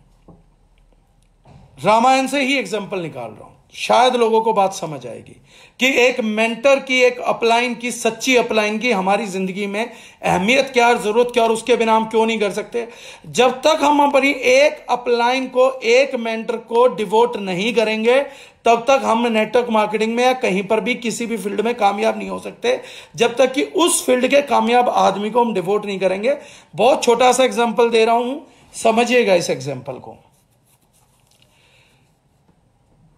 जब राम और लक्ष्मण वापसी आ गए अपना एजुकेशन लेके तो एक दिन दरबार में ऋषि वशिष्ठ पहुँचे और उन्होंने कहा कि मुझे राम और लक्ष्मण की ज़रूरत है यह मुझे सौंप दीजिए। भरे दरबार में दशरथ ने पूछा, राजा दशरथ ने पूछा कि मैं इनको क्यों सौंप दूँ? तो उन्होंने कहा कि प्रभु, हम यज्ञ करने की कोशिश कर रहे हैं राजा, और उसमें कुछ असुर आके कुछ विघन डालते हैं, हमारा यज्ञ, हमारा हवन खराब करते हैं तो उन राक्षसों से निपटने के लिए मुझे राजकुमारों की आवश्यकता है। यह सुनते ही क्योंकि कोमल हृदय था, माँ का हृदय था, जो रानी कौशल्या थी, वो थोड़ी सी द्रवित हो गई और उन्होंने बोला कि जो ये हैं, ये नवयुग बड़े छोटे हैं ऋषि, उम्र कमज़ोर है, राजकुमार जो हैं, बच्चे हैं आप एक काम करें उन्होंने दशरथ जी को बोला कि, राजा, आप स्वयं क्यों नहीं चले जाते? आप जाके क्यों नहीं बोलते? आप इनके यज्ञ की ऋषि वशिष्ठ के यज्ञ की असुरों से रक्षा क्यों नहीं करते? दशरथ बोले, ऋषि जी, देव, गुरुदेव, ये रानी जो है, रानी कौशल्या, ये सही कह रही हैं। इनको कभी अभी जो है कोई वो नहीं है, उम्र नहीं है इनका, कोई लेवल नहीं है। गुरु श्रेष्ठ हैं कोई एक्सपीरियंस है, मैंने युद्ध लड़े हैं, मैंने देवताओं की तरफ़ से भी असुरों के खिलाफ युद्ध लड़ा है तो मैं आपके साथ चलता हूँ और मैं आपको आश्वासन देता हूँ, मैं रक्षा करूँगा। लेकिन वहाँ पर ऋषि वशिष्ठ ने कहा कि यह गुरु आज्ञा है, मैं आपसे मदद नहीं मांगने आया मुझे चाहिए तो केवल राम और लक्ष्मण चाहिए, मुझे दशरथ नहीं चाहिए, अगर आप देते हो तो दीजिए, नहीं देते, लेकिन यहाँ पर अब बात यह है कि गुरु आज्ञा हो चुकी है। आप या तो राजकुमार देंगे या मैं खाली हाथ लौटूँगा। पौराणिक काल की घटना मैं इसलिए बता रहा हूँ ताकि हम डिफ्रेंशिएट कर पाए। और क्योंकि वो गुरु आज्ञा थी, इसलिए रामायण जानने वाले सब लोग जानते हैं कि उस यज्ञ में वहाँ पर राम और लक्ष्मण गए और वहीं से उनके बाद ही ऋषि वशिष्ठ ने ही शादी करा के राजा दशरथ को संदेशा भेजा था कि वहाँ से यज्ञ की रक्षा करने के बाद मैं आपके सुपुत्र को यहाँ ले आया और सीता के साथ ऐसे ऐसे करके अब स्वयंवर हो चुका बारात लेके राजा जनक के नगर पधारिए। लेकिन गुरु आज्ञा सर्वोत्तम थी। अगर राम को और लक्ष्मण को नाम कमाना था प्रभु श्री राम को, उन्हें आगे चल के इतिहास पुरुष बनना था, उनको कामयाब पुरुष होना था तो उनको असुरों के चैलेंजेस देखने थे और बावजूद इसके कि माँ के और बाप की दिली इच्छा नहीं थी। लेकिन अपनी बच्चों की कामयाबी के लिए वो जानते थे कि एक गुरु ही कामयाबी दिला सकता है। माँ बाप का हृदय कमज़ोर होता है, गुरु आज्ञा दिला देगा। इसलिए उन दोनों ने अपने बच्चे, अपने जो राजकुमार थे, वो गुरुओं को सौंप दिए। हर कंफर्ट था, हर सुख संपदा थी, लेकिन उसके बावजूद भी उनकी फ्यूचर डेवलपमेंट के लिए गुरु की आज्ञा कभी इतिहास में नहीं टाली गई। इसलिए गुरु बनाना आवश्यक होता है। आज से ज़्यादा पुरानी नहीं 20-25 साल पहले भी अगर हम जाते हैं तो तब भी माँ बाप स्पेशली फैमिली मेंबर्स एक बच्चे की ज़िंदगी में गुरु का स्थान भली भांति जानते थे। मैंने खुद देखा है और आप में से बहुत से लोगों ने देखा होगा कि माँ बाप जाके टीचर्स को या उनके गुरु को बोलते थे कि मेरे बच्चे को कामयाब कर देना, मेरा बच्चा पढ़ता नहीं है, इसको पढ़ा देना। वो जाके क्या बोल के आते थे? बच्चे के मुँह पे उसके टीचर को कि, सर या मैडम, मार मार के सुझा देना। साले को मुर्गा बना के रखो जॉब मना है वो करो। अगर ना पढ़े ना, ये बदतमीजी करे, मुझे बताना, मैं अलग मारूँगा और आपको कुछ बोल जाए, उल्टा बोल जाए, बदतमीज, मुर्गा बना दो। मारो इसको यहाँ पे। लेकिन मेरे बच्चे को कामयाब कर दो। ऐसा नहीं है कि कोई माँ बाप ऐसा था कि जब उनके बच्चे को थप्पड़ पड़ता था या डंडा पड़ता था तो उनका दिल दुखी नहीं होता था। लेकिन तब के माँ बाप को एक बात पता थी कि अगर गुरु को समर्पण नहीं देगा ना मेरा बच्चा तो मेरे पास वो काबिलियत नहीं है कि मैं इसको यहाँ पर कामयाब कर दूँ। लेकिन इसका गुरु इसको कामयाब कर सकता है तो अपने बच्चे के सामने ही खुद समर्पण करके आता था गुरु को, और बच्चे को बोलता था कि इस प्रकार का समर्पण है कि अगर तेरे गुरु ने तेरे बाप को बोल दिया ना, एक बार तेरी कंप्लेंट कर दी तो तेरा बाप मारेगा गुरु के बोलने पे। लेकिन आज की तारीख में हम क्या है कि हम ही अपने बच्चों के गुरु हैं, हम ही अपने बच्चों के मेंटर बन गए, हम ही अपने बच्चों के अपलाइन बन गए, हम ही उनके करियर विदाता बन गए हैं। हम सब कुछ करने पे लग गए हैं। आज वो गुरु व मेंटरों की भूमिका ही हमने खत्म कर दी। आज हमने लोगों की धोखेबाजियों पे ज़्यादा यकीन कर लिया, दूसरों की नियतों को कच्चा कर दिया है। आज गुरु की वो ताकत ही खत्म कर दी, आज वो समर्पण का जज्बा स्टूडेंट से मिट गया।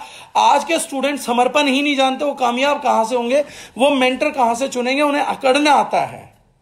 उन्हें अपने गुरुओं की आँखों में आँख डालना आता है। उन्हें अपने मेंटर्स को सिखाना आता है, सीखना नहीं आता है। ये जो पिछली पीढ़ी हमसे ज़्यादा कामयाब रह गई, जिसमें संस्कार है, संघर्ष है, जिसकी वजह से आज हमारा देश ज़िंदा है, जो नशों में नहीं पड़े, जो याशियों में नहीं पड़े, जिन्होंने मेहनत करके साम्राज्य खड़े करे, जो स्क्रैच टू स्काई गए, पिछली जनरेशन ने थोड़े से बहुत किच किया, गाँवों में आके शहरों में बसा दिए, लेकिन आज शहर में पैदा हुआ बच्चा अपने ही शहर में दूसरा मकान लेने के लिए, या तो ले नहीं पाता, या झूठ सच के बिजनेसेस करने लग जाता है। रीजन मीन क्या है? संस्कार कच्चे हैं। समर्पण देना आता नहीं। समर्पण देना सिखाया ही नहीं। गुरु धारण करना अब आता ही नहीं है। मेंटर होगा नहीं तो दिशा कौन दिखाएगा? क्योंकि मेरा मन, मेरी कंफर्ट जोन तो मुझे भटकाएगी। मैं तो बार बार कंफर्ट की तरफ़ खींचना चाहूँगा। एक बच्चे का मन तो बार बार खेलने को होगा। क्योंकि गुरु के प्रति डेडिकेटेड है गुरु ये बात बोलेगा कि, बेटा, अभी तेरे खेलने का समय नहीं, अभी पढ़ ले। तेरे को तीन पीरियड के बाद, तीन लेक्चर के बाद I give you short recesses उसमें खेल लियो। दो बजे छुट्टी के बाद खेल लियो।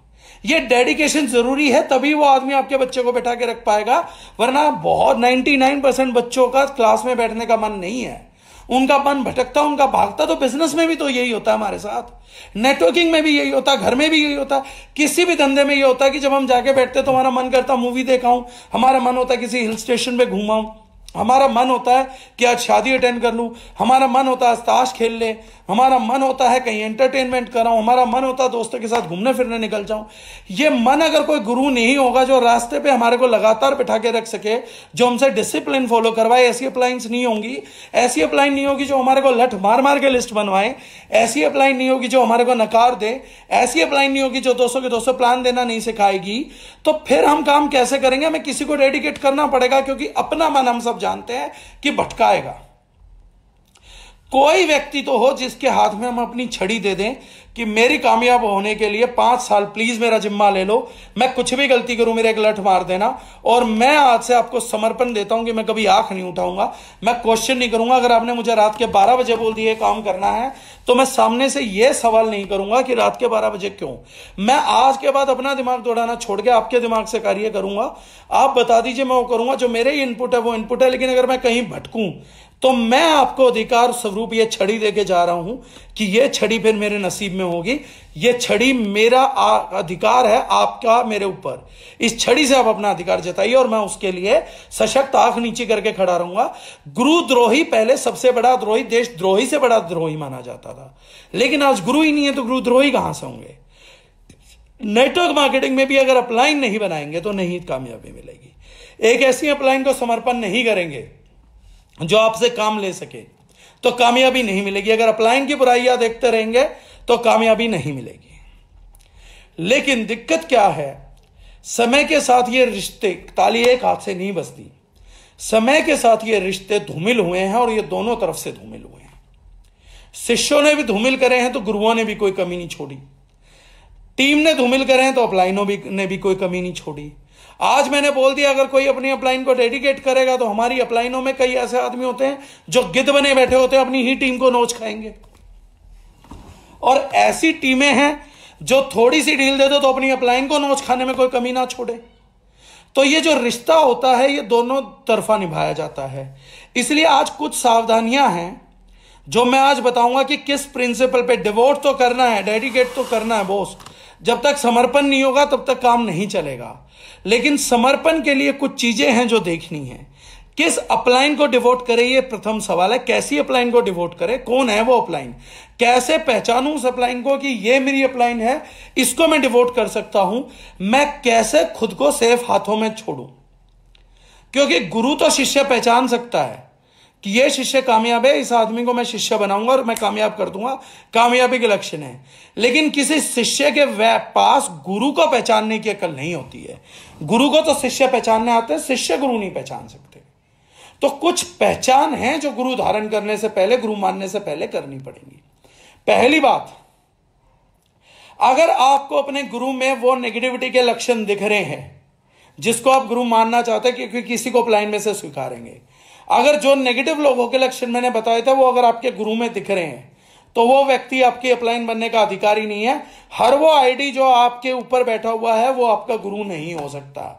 अगर उसमें नेगेटिविटी का कोई लक्षण दिखता है, वो प्रॉब्लम्स को ज़्यादा ग्लोरीफाई करता है, वो सब जानता है, वो सारी बातें करता है। जो भी मैंने लक्षण नेगेटिव लोगों के बताए तो दोबारा सुन लीजिएगा वीडियो में। अगर एक भी लक्षण आपकी अपलाइन में है वो आपका गुरु बनने का अधिकारी नहीं है। ऐसे किसी व्यक्ति को आप डेडिकेट कर देंगे तो अपना नुकसान करवा बैठेंगे, फ़ायदा कुछ नहीं करेंगे। ये व्यक्ति आपके डिवोशन के बिल्कुल भी अधिकारी नहीं है। पहली बात। और ये आपने ये नहीं देखना कि मेरे साथ तो नहीं है। ये देखिए कि ये आदमी उन नेगेटिविटी को किसी और के साथ कर रहा है। अगर ये आदमी किसी के साथ करता है तो कल आपके साथ भी करेगा। अगर ये आदमी प्रॉब्लम्स को ग्लोरीफाई करता है चाहे किसी के लिए करता हो चाहे अपनी बीवी के लिए करता है बच्चों के लिए करता है माँ बाप के लिए करता है या किसी विपक्षी के लिए करता है या किसी आलोचक के लिए करता है कंपनी के लिए करता है या स्टाफ के लिए करता है या किसी सर्विस के लिए अगर ये कहीं पर भी किसी के लिए भी नेगेटिविटी दिखाता है तो यह सभी के लिए नेगेटिव है तो ये आपका गुरु बनने के लायक नहीं है इसको गुरु धारण मत करिए इस आदमी को डिवोट मत करिए सेकंड चीज़ अगर कोई आदमी किसी का भी फाइनेंशियल एग्जॉस्टमेंट करता है, यानी किसी भी व्यक्ति की किसी के भी पैसे पे पूरी नज़र है, चाहे वो हज़ार रुपए पे है, दो हज़ार रुपए पे है कोई किसी से पैसा लेके कोई भी बहाना बना के लौटा नहीं रहा है। या कोई किसी का पैसा लेके खा गया, या किसी से पैसा लेके आ गया क्लोजिंग नहीं कर रहा, या किसी की ज्वाइनिंग का पैसा अपने घर के खर्चों में यूज़ कर लिया।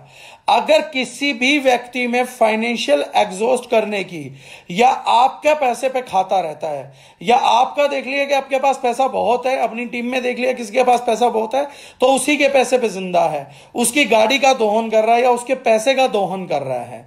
ऐसा कोई व्यक्ति कभी भी जीवन में किसी भी लेवल पे आपका गुरु नहीं हो सकता है। और सेम यही प्रिंसिपल आपकी टीम पे भी लागू होते हैं। आपको अच्छा गुरु चुनना है तो आपको अच्छी टीम भी चुननी है। अगर कोई टीम फाइनेंशियल एग्जॉस्ट करती है, नेगेटिव है तो वो आपकी टीम में बने रहने के लायक नहीं है। अगर आपके पास दस लोग और वो ऐसी टीम है कि हमेशा अगर चाय पीना भी हो तो वो देखते हैं कि अपलाइन पैसे निकाल दे। पानी की बोतल लेनी है तो अपलाइन पैसे दे दे। खाना खाना है तो अपलाइन पैसे दे दे। तो ये लोग भी जो फाइनेंशियल एग्जॉस्ट करते हैं, ये आपके चेले या शिष्य बनने के लायक नहीं है। आप गुरु अच्छे हो सकते हैं तो आपके पास शिष्य बेकार हैं। शिष्य बेकार रहे या गुरु बेकार रहे, ये प्रथा चलने वाली नहीं है, ये गुरुकुल चलने वाला नहीं है, इनके लिए दोनों को बैलेंस में आना ज़रूरी है। तो फाइनेंशियल एग्जॉस्टमेंट होना ही नहीं चाहिए, इसकी बजाय कॉन्ट्री होनी चाहिए। अगर दस लोग हैं और पानी की बोतल लेनी है तो दो दो रुपए मिला लीजिए। चाय पीना है तो सब अपनी अपनी चाय का दे दीजिए। कभी कभार कोई अन्यथा बात हो जाती है। हो सकता है सब लोगों ने चाय अपनी अपनी ले ली, अपलाइन बिस्किट अपनी मर्ज़ी से दिला दे, अपनी मर्ज़ी से आपको दिला दे को एक सोना भी। लेकिन अगर आपकी इच्छा यह है कि मेरे को पीनी भी और भरना भी ना पड़े तो फिर हम नेगेटिव अगर पीना है तो भरना पड़ेगा। कॉन्ट्रीब्यूशन करना बेस्ट प्रिंसिपल है, जो कॉन्ट्रीब्यूशन में बिलीव करता है। वही अच्छी अपलाइन है और वही अच्छा गुरु है। वही अच्छे शिष्य भी है। इन व्यक्तियों की जिनको गुरु धारण करना, इनकी नीयत दूसरों के प्रति देखिए। हो सकता है आपकी तारीफ़ करते हो, लेकिन आपके मुँह पे दूसरों की बुराइयाँ करते हो। अरे, वो तो गधा है, वो तो बेकार है, वो तो ये है, वो तो वो है। 24 घंटे अगर ये दूसरों की बुराइयाँ करता है तो ये तब भी आपका गुरु बनने के लायक नहीं है, क्योंकि इसकी नीयत दूसरों के प्रति खराब है। तो ये कन्फर्म है, ये पीठ पीछे आपकी भी बुराई दूसरों के सामने करता होगा। ये जिसके मुँह पे है, केवल उसी का सगा, दूसरों का तो सबके लिए बुराई है ये आदमी। तो इसलिए ऐसे लोगों को कभी भी गुरु धारण मत करिए। तीसरी चीज़ देखिए कि जो गुरु धारण करना है, वो आपसे सिस्टम फॉलो कराने के लिए धरा आपने। आपने गुरु को क्यों धारण किया है? कि मेरा मन ना भटके। बाकी तो काम मैं ही करूँगा। मेरा मन ना भटके, संभाल लेना, मैं भटकना जाऊँ वो संभाल लेना। मेरे फोकस हट जाए तो संभालना कंसंट्रेशन हटे तो संभालना। इसलिए तो गुरु धारण किया था कि सिस्टम संभाल लो सिस्टम फॉलो कर सके सिस्टम से अलग ना उठ जाए। पता लगा कि सिस्टम को अपलाइन ही नहीं फॉलो करता, अपलाइन ही उस सिस्टम को नहीं मानता, अपलाइन ही सिस्टम के विरुद्ध खड़ा है। तो ऐसा व्यक्ति भी आपका गुरु बनने के लायक नहीं है जो सिस्टम के विरुद्ध खड़ा है।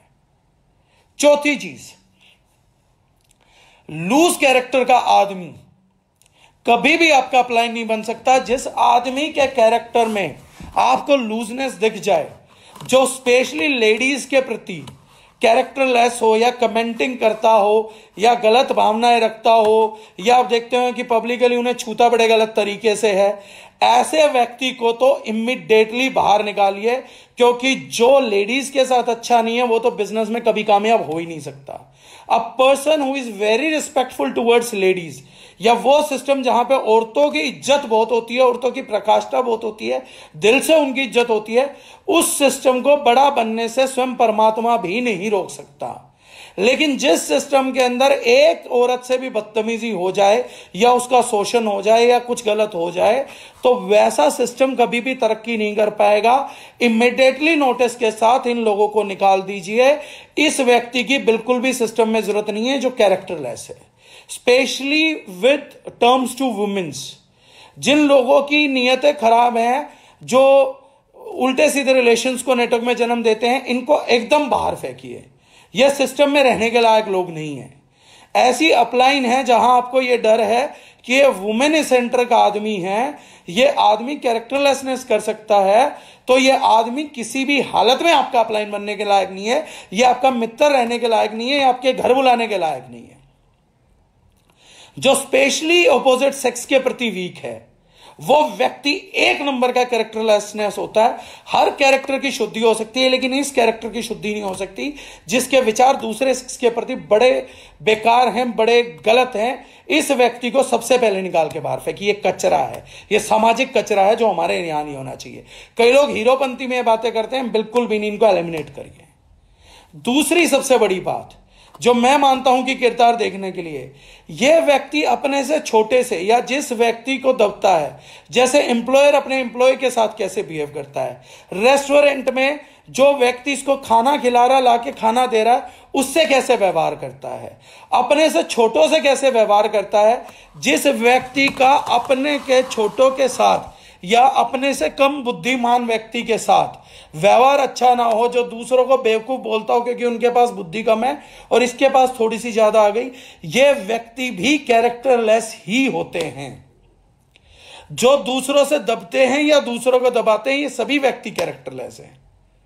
कि किसी से तो इतने दब जाएँगे कि उसको भगवान मान लेंगे और किसी को इतना दबा देंगे कि उससे जीने का अधिकार भी छीन लेंगे।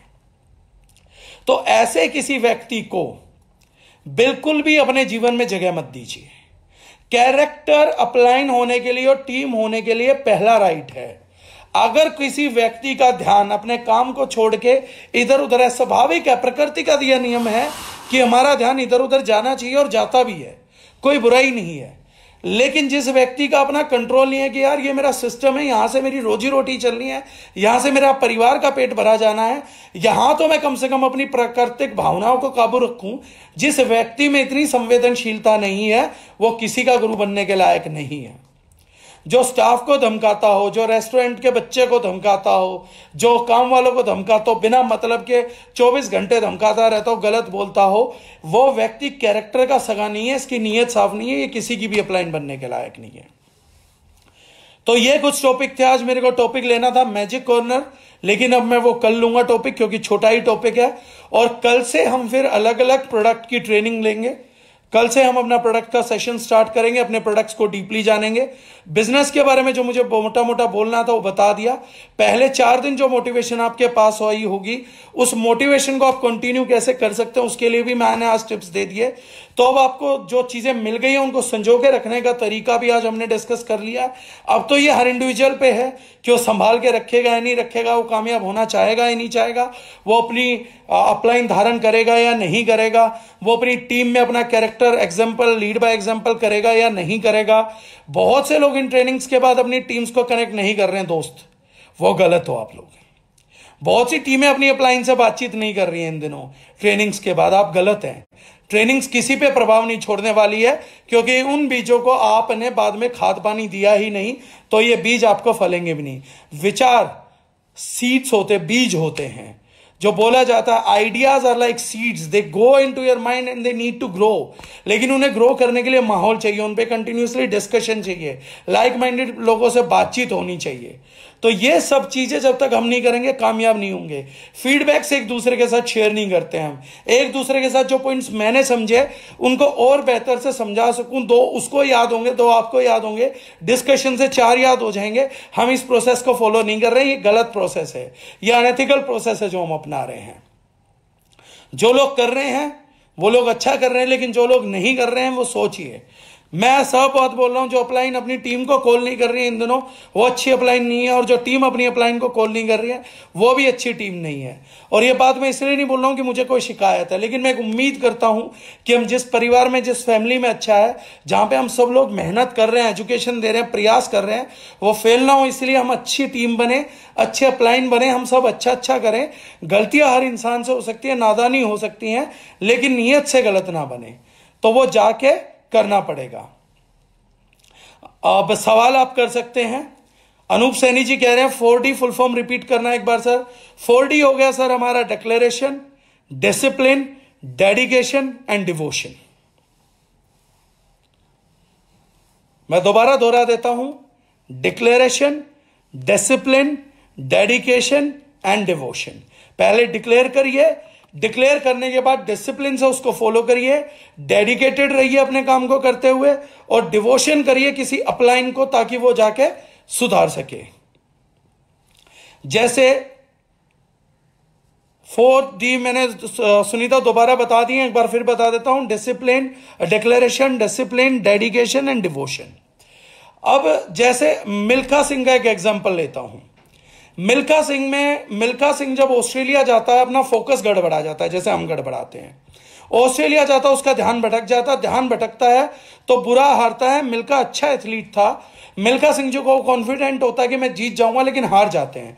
हार क्यों जाते हैं? क्योंकि फोकस आउट हो जाता है।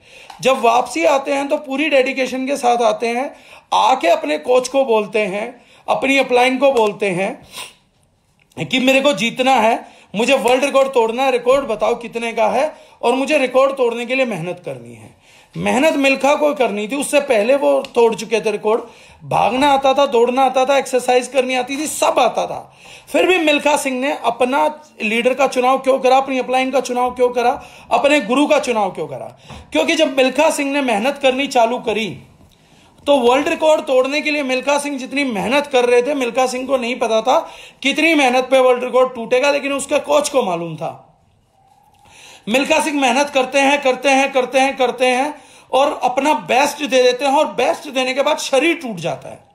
शरीर टूट जाता है तो मिल्खा सिंह गिर जाते हैं। जब मिल्खा सिंह गिर जाते हैं ना साहब तो जिस कोच को उन्होंने डिवोट किया होता है, वो कोच देखता है कि मिल्खा का बेस्ट तो है, लेकिन वर्ल्ड बेस्ट बनने वाली परफॉर्मेंस नहीं है। उस टाइम उसकी अपलाइन का रोल आता जिस चीज़ के लिए मैंने आज आप लोगों को कहा कि आप डिवोट करिए अपनी अपलाइन को। उस टाइम उसका कोच खड़ा होकर बोलता है, मिल्खे इतने करने से नहीं होगा, खड़ा हो, दौड़। तो मिल्खा बोलता गुरुजी, बस होर नहीं होना मेरे तो मैं थक गया हो गया जितना होना था। फिर उसका गुरु बोलता, मिल्क है, ये वो परफॉर्मेंस नहीं है, मेरे को इसलिए नहीं खड़ा करा। इस परफॉर्मेंस से वो नहीं बनेगा तू जो तू बनना चाहता। You have not given what it takes you have given your best no doubt but you have not given what it takes और मैं यहाँ खड़ा था, तूने मेरे को जिम्मेदार बना के अधिकार देके खड़ा किया था कि मैं तेरी लाइफ में हूँ और तू मेरे ऊपर विश्वास करता है कि मैं तेरी ज़िंदगी में हूँ तो मैं तेरे सर पे खड़ा होके मैं वर्ल्ड रिकॉर्ड तोड़वाऊँगा। लेकिन तू ये वर्ल्ड रिकॉर्ड तोड़ने वाली बेटा परफॉर्मेंस नहीं दे रहा। दोबारा खड़ा हो और दौड़। अपने बेस्ट को और बेस्ट बना, तब वर्ल्ड रिकॉर्ड टूटेगा। अगर उस दिन मिल्खा ने वो डिवोशन ना दिया होता, वो अधिकार ना दिया होता और उसकी अपलाइन ना खड़ी होती तो मिल मिल्खा अपना बेस्ट करने के बावजूद वर्ल्ड रिकॉर्ड ना तोड़ पाता। तो अगर आपको अपनी ज़िंदगी का मिल्खा सिंह बनना है तो अपलाइन चुननी पड़ेगी डिवोट करना पड़ेगा। लेकिन अपलाइन चुनते हुए सावधानी बरतिएगा। तो अपनी ज़िंदगी का मिल्खा सिंह बनिए और अपनी ज़िंदगी का ट्रेनर ढूंढिए सर अब कोई सवाल है तो दोबारा बताइए। मैंने जो थोड़ी बहुत एक्सप्लेनेशन थी, वो दोबारा दे दी है।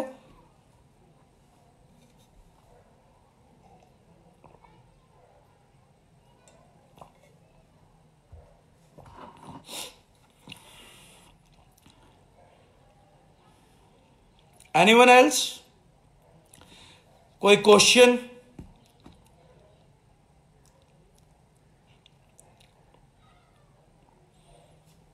अनूप सैनी जी कह रहे हैं डिक्लेरेशन डिसिप्लिन डेडिकेशन तीसरा डिक्लेरेशन नहीं है सर डेडिकेशन है declaration discipline dedication and devotion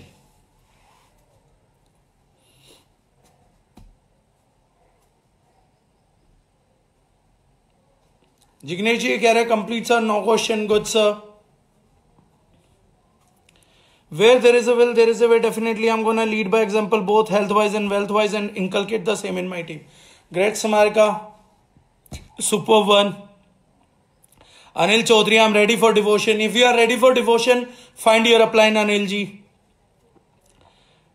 Payal Jagdish ji कह रही है गुरु गोविंद दोवों खड़े काकू लागू पाए बलहारी गुरु आपने गोविंद दियो बताए बिल्कुल ठीक बोल रहे हो पाए लेकिन आजकल ये प्रथा बेटा खत्म हो गई है, इसलिए मैंने आज दोबारा से छेड़ा है इस प्रथा को कि गुरु के लिए कई बार हो सकता है आपको अपने परिवार से विद्रोह करना पड़ जाए।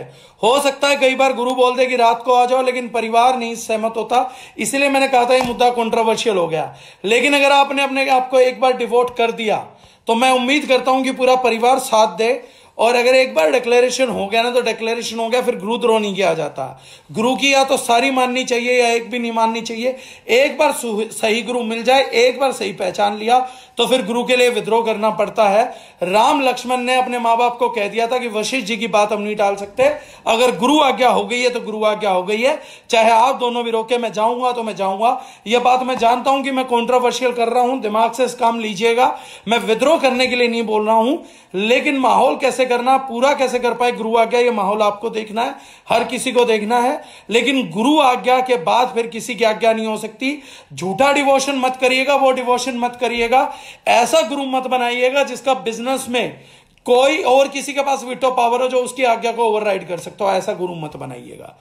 गुरु बना दिया तो फिर गुरु आज्ञा का द्रोह कभी नहीं होना चाहिए। फिर गुरु आज्ञा फाइनल है। लेकिन आजकल आज्ञाएँ बहुत चल रही है। गुरु आज्ञा के बाद बीवी आज्ञा भी चलती है, बच्चे आज्ञा भी चलते हैं, रिश्तेदार आज्ञा भी चलती है, हज़ारों आज्ञाएँ और चलती हैं। या तो गुरु ही मत चुनो, उन्हीं की आज्ञाओं पे चल लो। या गुरु चुन लिया तो कुछ टाइम के लिए, जितने टाइम के लिए गुरु चुन लिया, वो गुरु आज्ञा पे चलना, फिर सारी आज्ञाएँ निराधार हैं।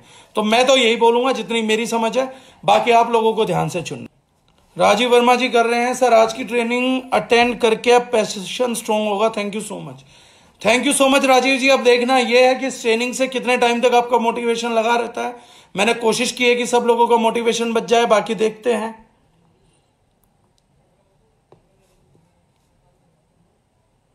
कब, रिजवान अली कहते हैं कभी कभी पढ़ने वाली डांट या प्रेशर देने वाला, उम्मीदें हमसे क्या होती, आज क्लियर हुआ। चलो, आज क्लियर हो गया, अच्छी बात है, Rizwan. Thank you thank you thank you thank you everyone thank you so much thank you so much Sanjeev भैया बोल रहे हैं नेटवर्क मार्केटिंग ज़िम्मेदारी लेने का काम है।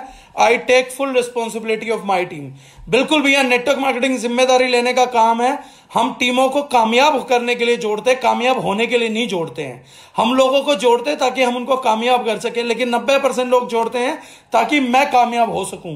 धीरे से उनकी टीम को भी एक दिन ये बात पता लग जाती है किसी ने मुझे कामयाब करने के लिए नहीं जोड़ा है ना ये मेरी कामयाबी के लिए कुछ कर रहा है, बल्कि मेरे कुछ करने से ये कामयाब हो रहा है और इसीलिए इसने जोड़ा था। इसीलिए टीमों में और अपलाइन में संबंध बिगड़ते हैं, जो बाद में खतरनाक स्टेज पर पहुँचते हैं। तो ज़्यादातर नेटवर्करों की इच्छा और सोच ये होती है कि कोई मिल जाए, मुझे कामयाब कर दे क्योंकि मैं तो किसी को कर नहीं सकता। मैं खुद को नहीं कर सकता, मैं किसी को क्या करूँगा? इसलिए वो दो बंदे ढूंढते फिर रहे होते हैं। तो आप जैसे लीडर को पाके आपकी टीम धन्य है, साहब।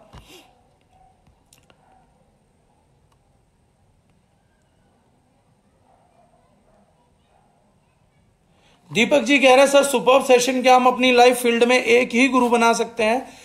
नहीं, दीपक जी, आप एक गुरु नहीं बना सकते हैं, आप दो चार भी गुरु धारण कर सकते हैं, लेकिन उनके विचार एक जैसे होने चाहिए, वो एक टीम के हिस्से होने चाहिए। आप अलग अलग फ़ील्ड के लिए अलग गुरु बना सकते हैं, एक ही गुरु से सारी फ़ील्ड का काम नहीं ले सकते। आप नेटवर्क मार्केटिंग के गुरु से घर में खाना कैसे बनेगा ये नहीं पूछ सकते। उसके लिए आप अपनी बीवी को गुरु धारण कर सकते हैं। आप घर में लॉकडाउन में बेहतरीन पोचा कैसे मारे, उसके लिए आप नेटवर्क मार्केटिंग गुरु से नहीं सीख सकते तो बीवी को गुरु धारण कर सकते हैं। लेकिन हाँ आप नेटवर्क मार्केटिंग में भी दो चार गुरु धारण कर सकते हैं। गुरुओं के अंदर लेकिन अलग अलग क्वालिटियों की एक से मैं डेडिकेशन सीख पाता हूँ, एक से मैं फ़ील्ड वर्क सीख रहा हूँ, एक से मैं अच्छी इंसानियत सीख रहा हूँ। तो ऐसे करके आप गुरु बिल्कुल अलग अलग भी धारण कर सकते हैं। बेस्ट चीज़ों का गुरु। गुरुकुल में भी अलग अलग विषयों पे अलग अलग अध्यापक रहे हैं। संस्कृत का गुरु कुछ और होता था, युद्ध कला का गुरु कोई और होता था। तो अलग अलग गुरु की प्रथा रही है। लेकिन युद्ध कला के चार गुरु नहीं होते थे। अलग अलग युद्ध कला का अलग अलग लेवल का गुरु अलग अलग हो सकता है अलग अलग सब्जेक्ट का हो सकता है तो आप बिल्कुल धारण कर सकते हैं।